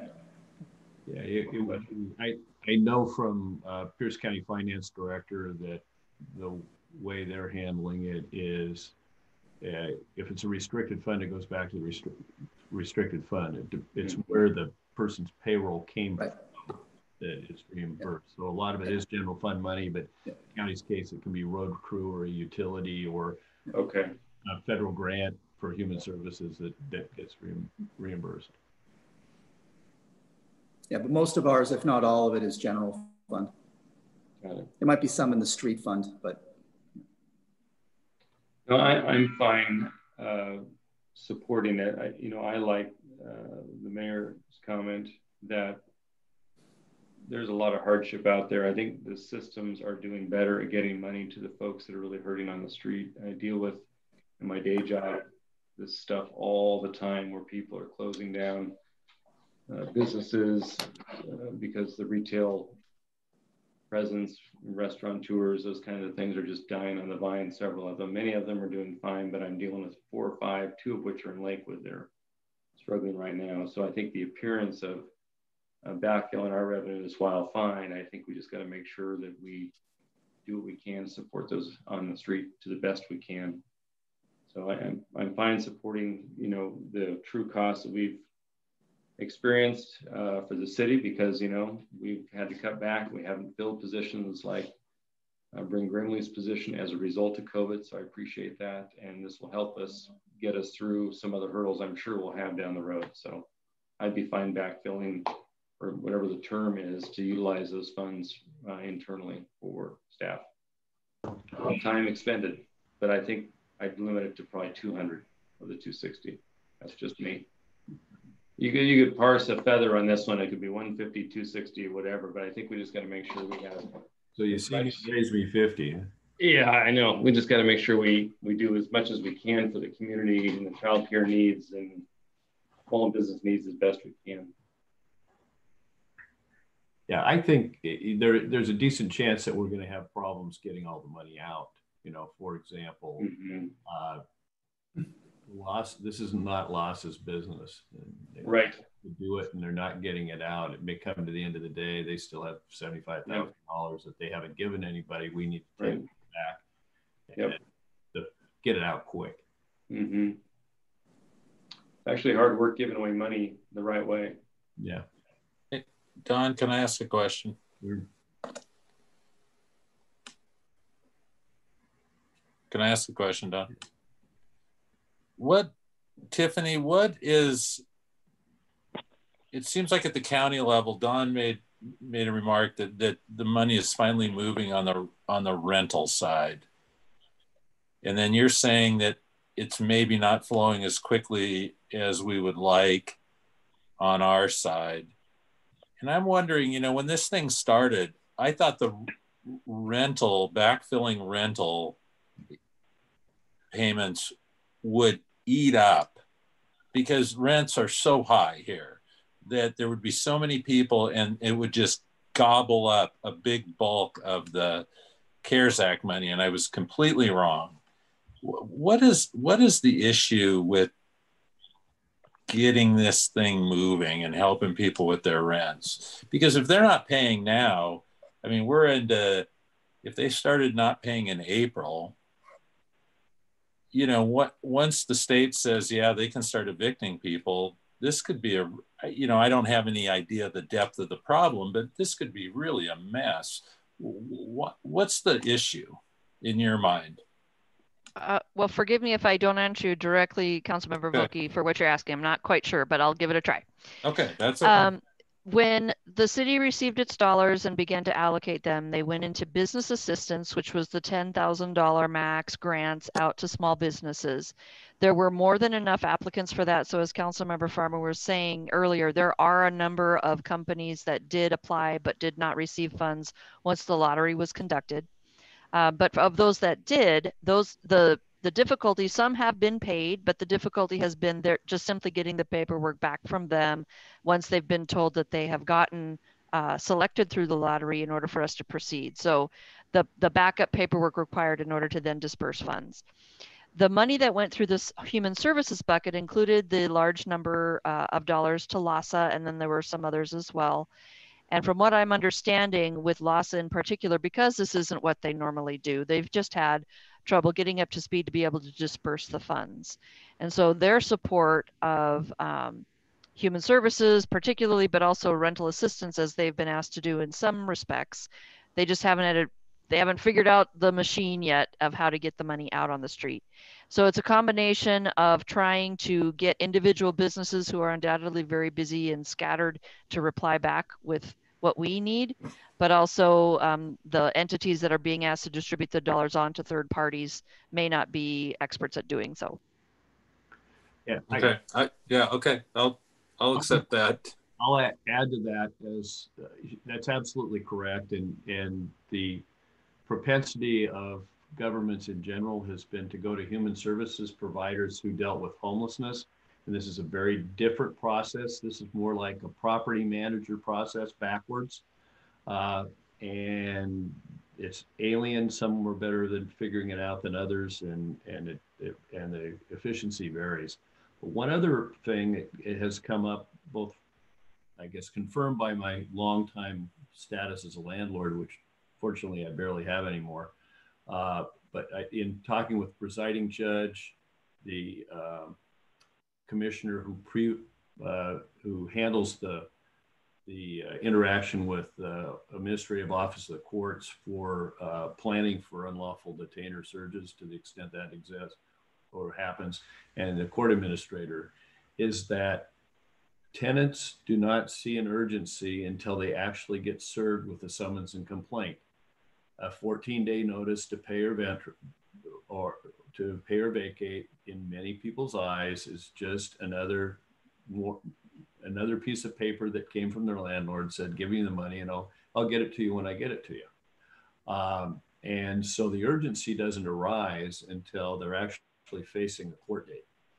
And for that reason, there was a, a, a seemed to be a, a, reluctance of people to actually apply. Hey, I got a, I got an eviction moratorium. Why do I need to worry about it? Uh, and so the success in getting people to apply was getting the word out to landlords who then put the pressure down and said, hey, you're behind your rent. I can get you two months rent if you'll fill out the paperwork and send it in.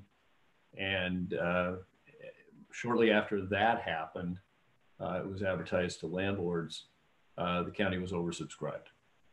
Mm but it was there was a two month lag in the process before they actually started getting it and and that only meant that the, the initial uh, application came through and was initially screened at the portal at the county then it went out to these various service providers and we don't know yet exactly who's the best at getting the money out although i do know that LASA said they didn't want to do it because they couldn't handle it anymore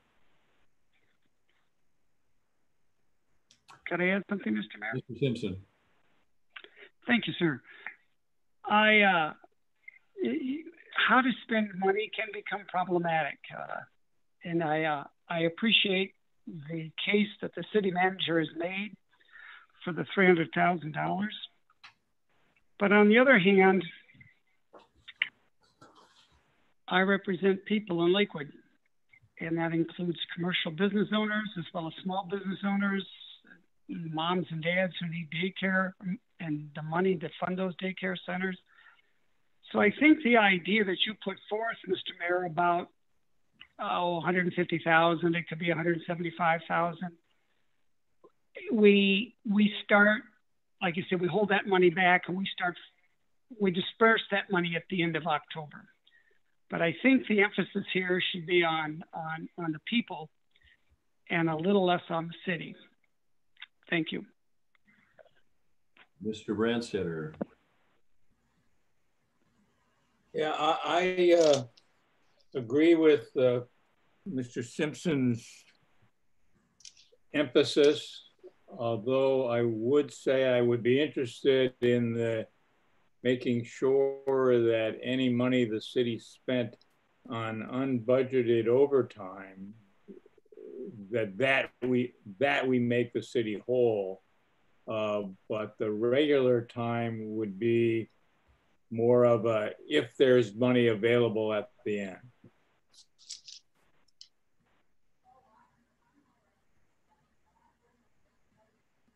Great.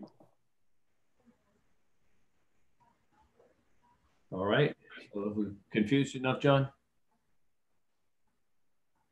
Um, so um, I'm just going to round up to $200,000 this first draw. So I would ask the council how, you know. You got a little bit better haircut than that, but okay. Um, and then as a part of that, and then as a part of that, we will um, actually, before we draw on that, we will communicate to you what that is, what that breakdown is comprised of. How's that? That sounds good. Okay. Awesome. Um, and then um, the last two items was um, those businesses who submitted for funding that did not make the original cut. And I'll, I'll look to Ms. Speir to see if that if that's a viable option. If you could nod yes or no, or say. That would actually be the preferred option because we already have all their initial documentation. So then council, um, you know, how do you, what do you say to that, Mayor? Sounds fair. Other council Okay, I'm only seeing that, I'm seeing the mayor nod his head. I'm seeing Councilmember Simpson. I'm looking for Councilmember Farmer. What happened? Oh, there she is. Thank you. All right. I All brought it up. I got you. Okay. Um, and then the last one, oh, and thank you, Councilmember Moss. Um, and then the last one was um, the PPE equipment um, that um, Ms. Speir outlined up to $250,000. And um, I, I didn't, I, I didn't really hear anything too lukewarm on that from the council. But might I, might I ask that as we get closer to the end of October and or November, that that's something perhaps we revisit? Yeah, I, I, if if we're not getting the money out, you can buy inventory. But Okay. I, I my personal opinion on buying PPE for the masses now internally is one thing, but PPE for the masses, it's out there. Um, actually, I, I, I stand corrected, Mayor. It's not so much PPE, it's actually uh, physical improvements to our buildings and facilities and kind of expanding upon the monies that we already have. And we are going to be looking at, I understand, looking at maybe requesting some funding from Pierce County on that front as well. Okay, another, another thing in reserve. So, so that's what I have, Mayor. I, I, I hope I didn't miss anything, but I was trying to take as good of notes as I possibly could. So with that, Mayor, I'll turn it back over to you and your colleagues. All right. And you'll bring back a list for us? We shall. Um, at your next, um, at your next study session as part of reports by the city manager, um, myself and Ms. Speir will work on some kind of a one or two pager, just kind of uh, memorializing and summarizing what we heard your direction here this evening. And I would suggest you start, even though it's not formalized now, you start putting the administrative application process in, in motion as soon as possible so that. Oh yeah. It, it Absolutely. Hey, John.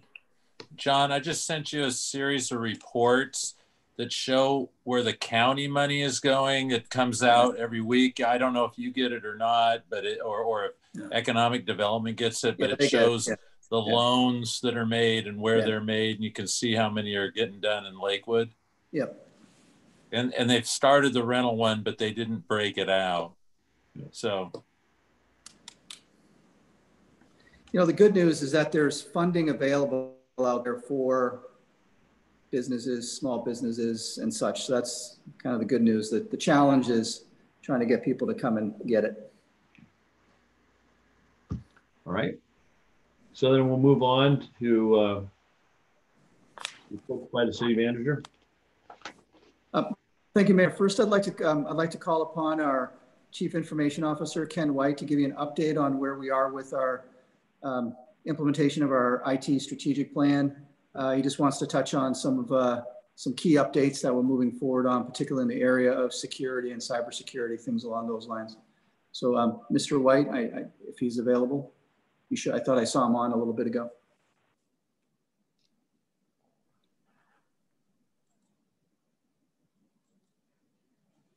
Kenny, you there? I am. Sorry, it kicked me out and then rejoined me. Hopefully you guys can hear me okay. Yep, I can, we, you're good to go. Thanks, Ken. Perfect. So I uh, just want to give you guys an update on kind of the projects that are going on right now and kind of where we're going in the future.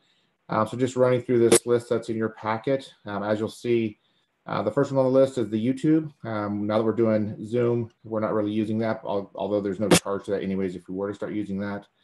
Uh, we continue to work on the citywide camera system. Uh, those are the security cameras that we have throughout the city hall, the parks and whatnot. Uh, there's a couple that have been added recently, one additional at the police station, a Panto Zoom, a few more to come, and also one at American Lake that the undercover officers are using over there. Uh, cloud backup storage, uh, that was through uh, some funding that the council provided us last year. Um, that's actually in play and reducing our um, backup time and also our, our infrastructure storage costs are way down for that one, so it's working well. Uh, the wide format printers have been installed. There's two HPs and there's one scanner, both in community development and um, in GIS. Uh, they're being used on a, on a, decent basis. Again, there's not a lot of people in the office, so it's, it's a little slow right now. Uh, the bigger ones are the ShieldX, the RecoverPoint, the two-factor authentication on the security enhancement side. Uh, that is something that we implemented using dollars allocated by council at the beginning of 2020. Um, those have all been put in place. All police officers now authenticate with two-factor. Uh, ShieldX is protecting our virtual environment, and now with staff working remotely, that's a huge thing for us. So there's been a lot of investment in security and cybersecurity and remote access. Um, EMC RecoverPoint is a backup solution that we put in place. Uh, we're now able to do a snapshot point in time recovery within 20 seconds, and that's between both City Hall and the police station, and eventually down the road moving toward the third location for disaster recovery. Uh, the big projects that we've got going on right now, we continue with the cyber security awareness program. That's more of training and testing staff to make sure everybody's uh, compliant with security and that they're following their email etiquette and kind of what they're clicking on, especially as we start to move towards home access. Uh, the computer replacement project, right now the big focus for us um, is really on the COVID remote work staff. Uh, we were granted some funding, you saw in the previous report uh, that there's about 170, $187,000 that was allocated to that. Uh, we continue to look at computer replacement, but a bulk of what we're going to be doing with remote staff is now being funded under the CARES dollars. Um, although we continue to do um, monitor replacements and local things like that without, throughout the city. Uh, the redundant data circuits, this one has been a kind of a nightmare project for us. Initially, that was running through um, CenturyLink. There was there was some downtime with CenturyLink where they had some issues getting permits through Tacoma. Um, and then we decided to move it over to Verizon and try to speed things up. Uh, we're told that November is kind of the date for that now, especially with COVID. So things are slowing down. Uh, the business continuity plan, that one really is dependent on the disaster recovery, the, the data centers being up and running, the uh, redundant data circuits. So we'll be revisiting that one towards the end of the year once we have everything in place. The new permit system, which is the PALS project, that one is up and going. Uh, the information technology side of the house has been completed. So we've integrated uh, some of our GIS with the county and all of our um, authentication through the county is now secure and functional. So we're working well there. Uh, the CARES Act funding, that one I just mentioned briefly, that's probably the biggest one that we're working on right now is really just focusing on remote access for all of our staff, ensuring that we have security protocols in place, um, we're going to be rolling out two-factor authentication to all remote staff, so that'll ensure that they are who they say they are when they connect. Um, so that's a big one there.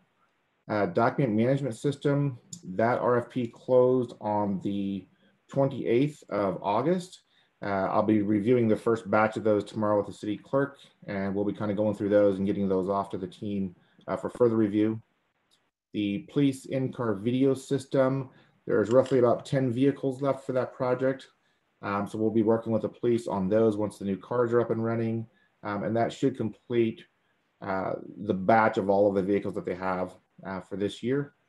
And then kind of rolling down into 2021, as you see in that, mainly the focus um, this year was really security, infrastructure upgrades, cybersecurity, uh, redundancy, and, throughput for um, all of our network-based systems. And then in 2021, continuing down the road of computer replacement, although with COVID, uh, the focus there will also be remote staff, virtual connectivity, and I can't emphasize enough security and cybersecurity, especially with people using home computers. And the one thing that I'll touch on that really quick is that we are moving towards a zero client infrastructure, meaning that staff will have computers at home, but they will not have any operating system installed. They literally turn them on, they connect to the city. We'll be able to use desktops, cell phones, iPads, Android, website, Linux, Mac, you name it, anything that anybody has at home will work, um, especially with the zero client technology. So that, that's kind of a big one for us. Um, and then there's just a couple other projects that you that you'll see on there. Wi-Fi access point upgrades. Really, that's focusing in some of our parks, uh, bringing Wi-Fi to the community, um, and then additional server hardware upgrades in 2022. Um, but the bulk of it is pretty much done. We're just kind of on a, a move forward with COVID right now and, and, within IT. So there's been a lot of work there. Uh, with that, I kind of kept it brief. So if there's any questions, I'm happy to answer them.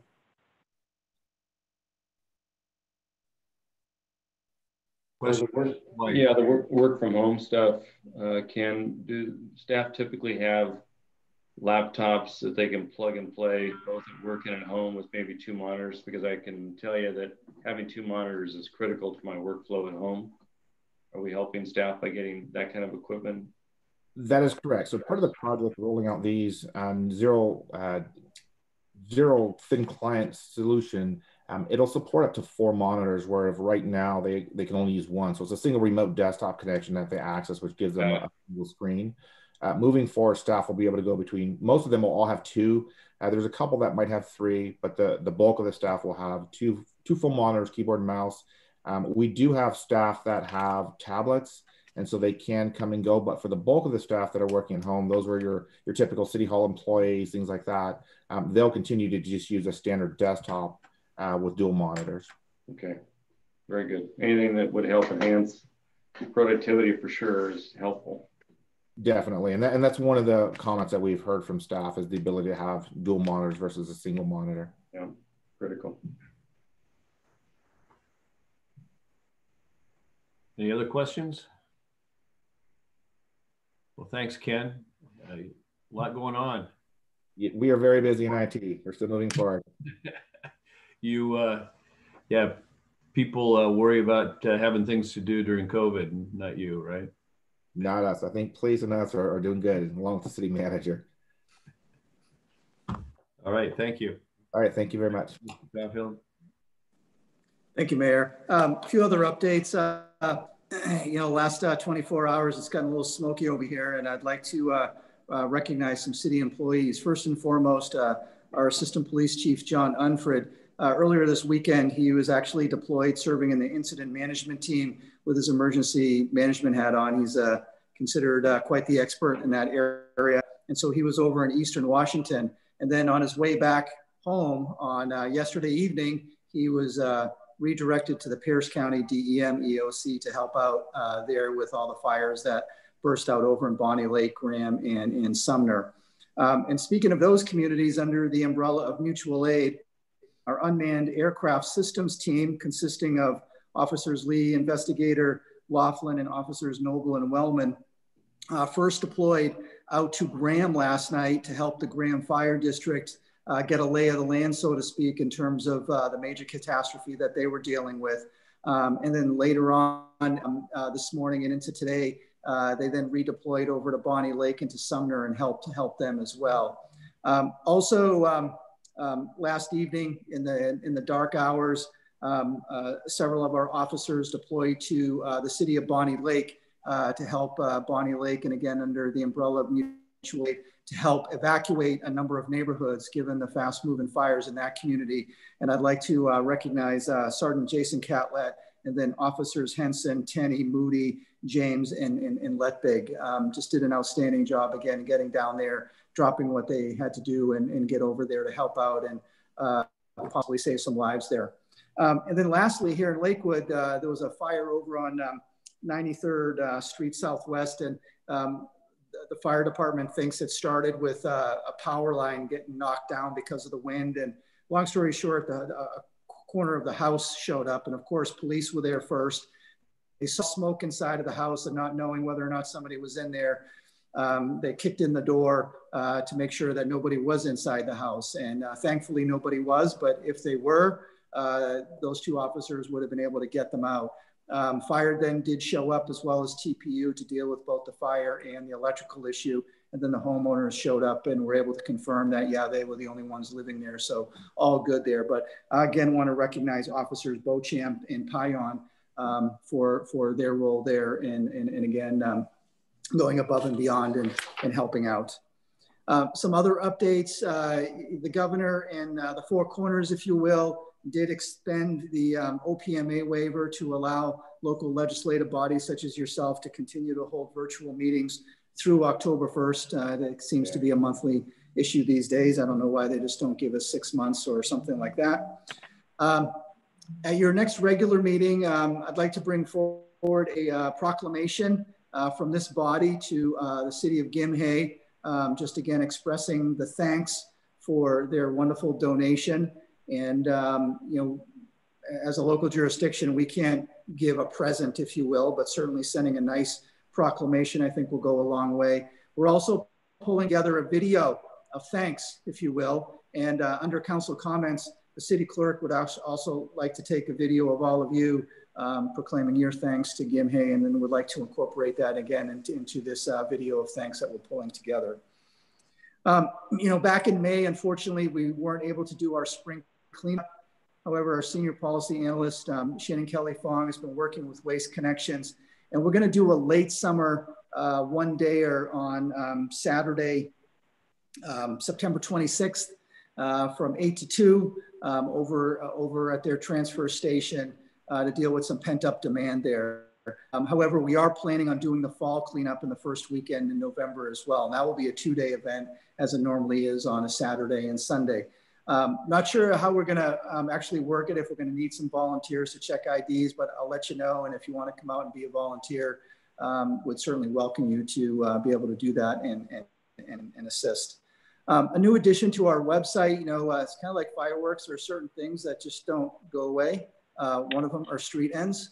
And um, come on, if I can get a smile there, a smile. Come on, somebody, anybody? There we go. All right. No. Oh, yeah. Oh, yeah. So um, we put it out on the web page, um, including uh, the Parks and Recreation Advisory Board's recommendation from a number of years ago. Um, also, um, I do plan including in the uh, upcoming biennial budget that we come back and revisit that and internally update it um, to include just further expanding the description and the opportunities challenges with each street end in a little bit more detail, as well as maybe putting a pencil to what it would cost to develop those street ends um, that PRAB had recommended a number of years ago. Um, but again, I just wanted to give you a heads up that it is on our website. So if you have questions, uh, we can direct people there uh, on that on that particular on that particular issue. Um, on the city's finances, so I have um, some very, very good news. The caveat is this, it's only halfway through the year. Okay, it's only halfway through the year.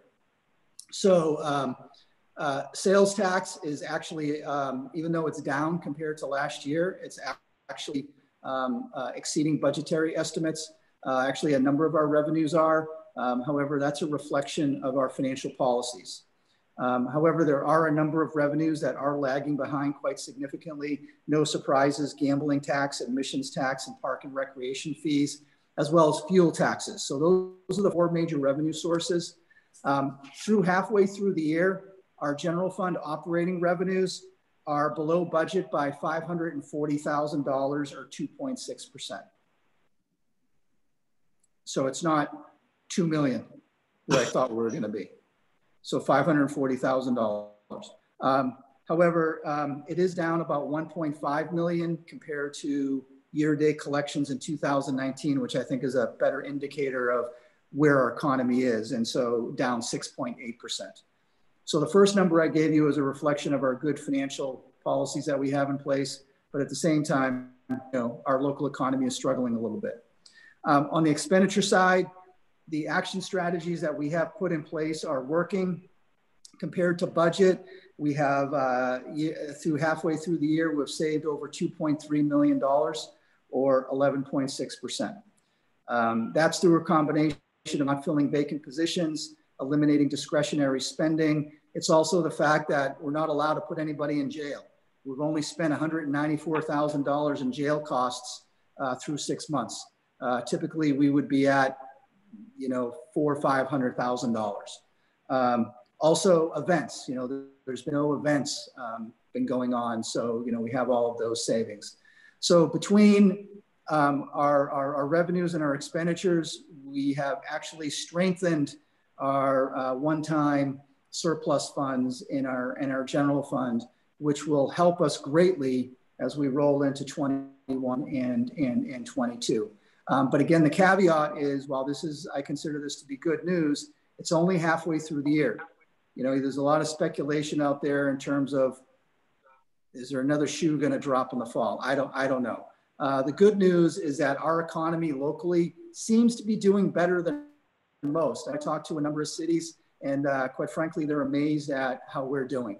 Um, so, um, so that's the good news. That's the good news. And Ms. Kraus will have a much more detailed and explicit uh, presentation for you next week as part of um, your study session. So again, more to come there. But uh, long story short, uh, good news there.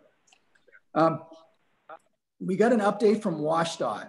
So the I-5 JBLM corridor. So the fifth, the fourth lane that they're currently building. You know, back in 2015, when the transportation package was passed, we were told that that was going to be a general purpose lane. Because right now it's four lanes. They come to Thorne Lane, it's three lanes. Now we're going to add a fourth lane, general purpose lane. Now what we're hearing from WashDOT is that those lanes north and south are going to be an HOV lane. It's going to be an island. So I'm looking for some answers. Um, the um, regional administrator uh, of WashDOT did call me last week and told me that from an engineering standpoint, by having an island of HOV lanes, it will actually improve traffic flow. Um, so I need to have our engineers take a look at that. Um, long story short, uh, what we're being told is that um, those will not be general purpose lanes, those will be HOV lanes. Um, at the same time, the transportation chair, Jake Fey, um, state legislator from Tacoma, as part of a future upcoming transportation package, um, you might recall me giving you an update on a conversation we had with him earlier this summer, is he will be proposing adding a fifth lane, which would be an HOV lane from 38th all the way down to North, Thor you know, North Thorne Lane, but we've encouraged him to extend that all the way down to Mounts Road. So then there's five lanes the whole way down. Um, that does not help Thurston County, by the way, but it certainly helps us here in, in Pierce County. But I just wanted to give you a courtesy heads up that that's an update that we just got from WashDOT. And um, we're still seeking um, some answers, some answers there. Um, the last update I have for you is um, Sound Transit. I just want to say Sound Transit went through this 10 years ago. I remember this is like deja vu. So, you know, they're, you know, they're very sales tax dependent. And so their revenues dropped off. And so in 2009 and 2010, they said they were going to delay all of these projects and nothing, you know, all these projects weren't going to get done and this and that. And that was after the, that was after the voters approved Sound Transit 2. Um, and then two or three years later, the economy came back and they were back on track, no pun intended. And that's where they are today. Um, so here they are again, and they're doing their due diligence. So, you know, you got, you gotta, you know, I can't fault them for that. And um, so the board is going through um, a um, um, potential schedule changes on projects. And uh, really our concern down here in Lakewood is what impact does that have on the new sounder stations that are planned for Tillicum and DuPont. You know, the fact is, is that those are, those are been planned for like 2034 or 2036. So it's not, you know, what are they going to do? Bump it out a year? Uh, I, you know, it's, it's so far out there. Um, the bigger concern is the South Sounder extension work um, that they're planning on doing. So they're going through their analysis, both fiscal and uh, capital projects related. And um, they expect to have a better understanding of this in terms of what the impact is in the summer of 21. So about nine months from now. Um, so maybe they did learn from a, you know, about 10 years ago where they, kind of very quickly just kind of pulled back a number of projects and then very quickly put them back on the burner. So um, I, I, just wanted to again give you a courtesy heads up there that um, the Sound Sound Transit Board is looking at um, you know what the impacts are of the economic uh, decline from pan, the COVID-19 pandemic is. Um, but I think the greatest risk here in Lakewood is the uh, sounder station expansion and adding more trains and things like that. But more to follow, more to come. So with that, Mayor, that's my report. So just a little bit of requested feedback in the uh, HOV lane island proposal. Uh, I recall seeing a study uh, not that long ago regarding opening up HOV lanes and actually from a traffic flow standpoint, with the existing, the then existing traffic, it would actually speed things up. The counter argument to that was that was an, a, a, an improved area that it would increase traffic because more single fam or single occupancy vehicles would be on the road and therefore it wouldn't have a long-term benefit. Plus they couldn't charge people for the lanes, so they'd lose revenue.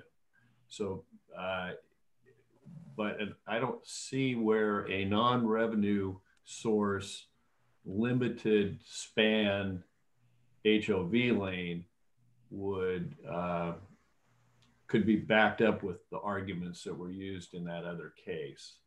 Uh, so I would be highly skeptical of the of WashDOT's conclusion. Maybe, and here I'm a skeptic again because I have to go up to fortunately by virtually the Puget Sound Regional Council and Transportation Policy Board, which is coming up another week in the next week. And uh, I suspect it's more political than engineering, but that's just my conspiracy theory. And I appreciate that, Mayor. I will tell you this, though, um, that the you know the level of cooperation and communication at the staff level between, for example, myself and Mr. Bucich and WashDOT, you know, is, is, is good. So, um, you know, just want an explanation. That's all. They're at the staff level, they're really good at building roads. Yep. I mean, yep. that's what they like to do and what they do. They, they, they don't make policy. Yep.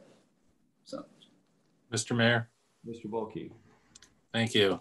Hey, John, uh, uh, three, three questions. Well, first of all, I'll just say, I don't know that I understand. I don't know that I can visualize the creation of a HOV lane when there is no HOV lane connected.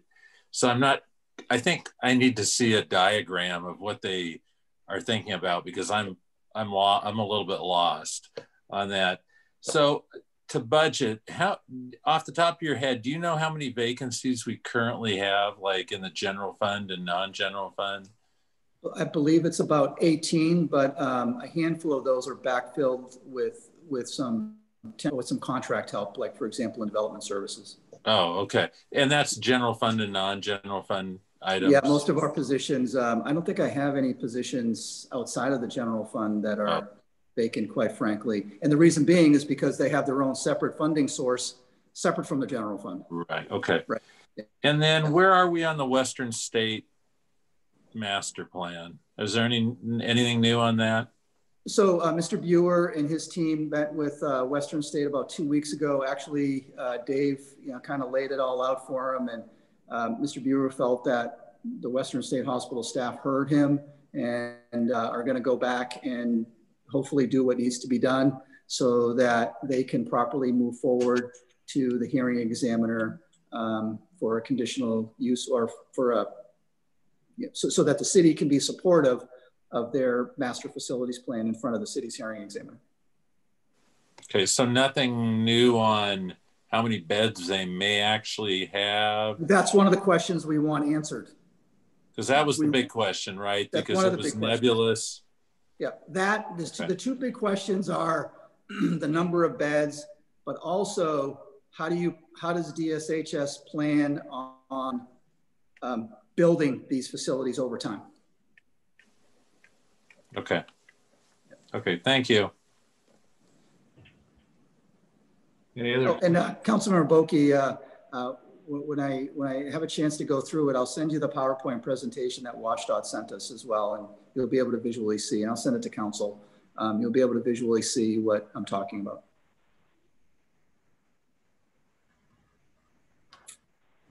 All right, is that all, Mr. Caulfield? Um, yes, sir. So for council comments tonight, we're uh, going to say thanks to uh, Gimhae, and I'd asked uh, Ms. Schumacher if are are you going to use individual cells of council members for this or the entire screen at once? You know, I'm thinking it would probably come across best if each of us uh, turned our video off unless you were the ones providing the comments. Okay. So we would turn our camera off and then individuals will provide their comments. And please be sure to introduce yourself by name at the beginning of your comments. Yeah, and your title, say you're a council member, uh, deputy mayor.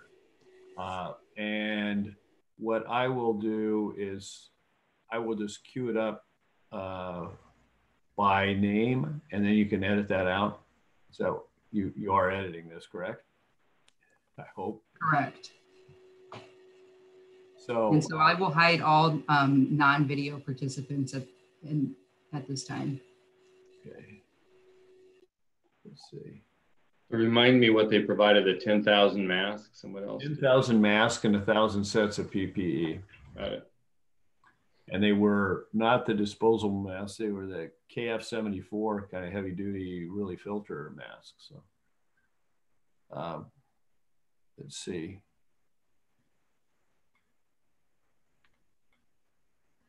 If I go stop video, I get my picture because that's what it's set up. What do you want me to do to disappear?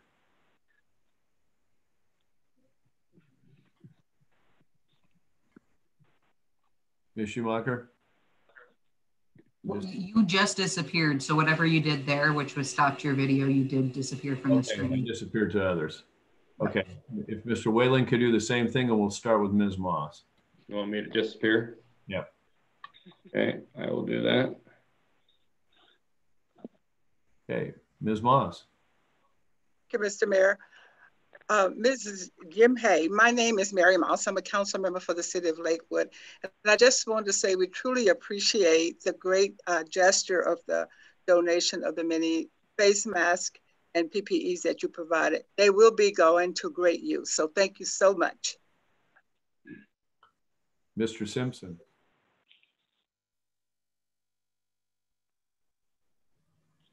My name is John Simpson. I'm a Lakewood City Council member. The city of Gimhae's gift of personal protective equipment and masks will save lives. John, let's start over. Your your sound faded out to virtually nothing. Okay. Good evening. My name is John Simpson. I'm a Lakewood City Council member. The city of Gimhae's gift of personal protective equipment and masks will save lives and I thank the city for its signal act of generosity and kindness. One of our American presidents, a man by, by the name of Abraham Lincoln, once said, Next to creating a life, the finest thing that a person or a sister city can do is saving one. Thank you.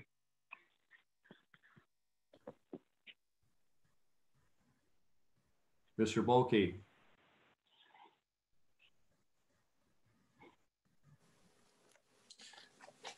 I'm Council Member Paul Bocchi.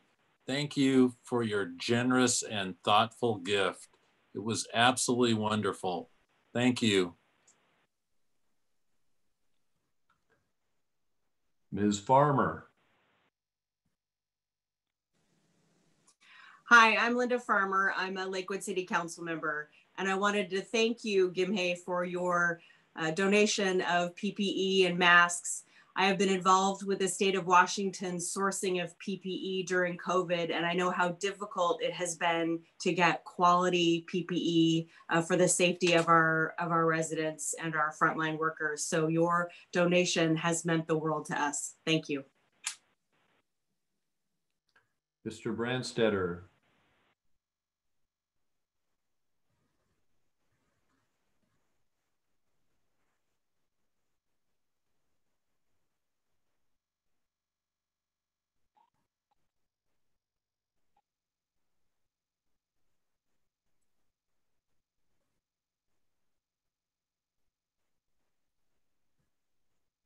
Mike, if you can hear me, you blinked on and off and we can't hear you. Hi, I'm Mike Brandstetter, City Council member from Lakewood. Really want to express our my gratitude to the City of Gimhae. Your gesture not only gives meaning to the idea of our being friendship cities and elevates to the point of where we truly are friends. Thank you.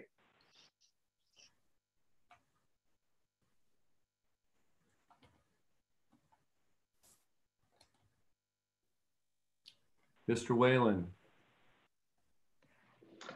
Greetings. My name is Jason Whalen. I'm the Deputy Mayor for the City of Lakewood, and I too express my heartfelt thanks on behalf of the residents of Lakewood for your kind and generous gift. Gimhae and Lakewood have shared Friendship City status since 2006, and because of that, we've created great bonds together as communities. We thank you today for your active support, collaboration, and friendship in the form of the masks and the personal protective equipment. We thank you very much, Gimhae. Gamsa Hamnida to your community. Thank you.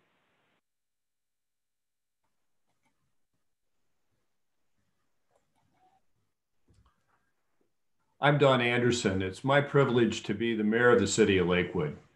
Reaching across the ocean, Gimhae has shown the kindness and the great love that the people of Gimhae have for their fellow man. We are most great, we are most gracious, graciously accepting your wonderful gift, and it has already gone to great use in our community. Thank you again for all that you have done for our community, and we look forward to seeing you in person and building our even greater bonds of friendship. Thank you again.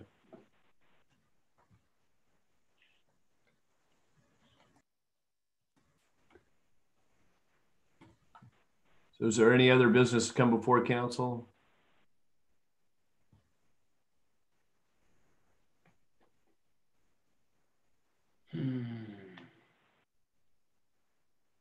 Okay. Seeing none, we're adjourned. Good night. Night. Good night, guys. Good night.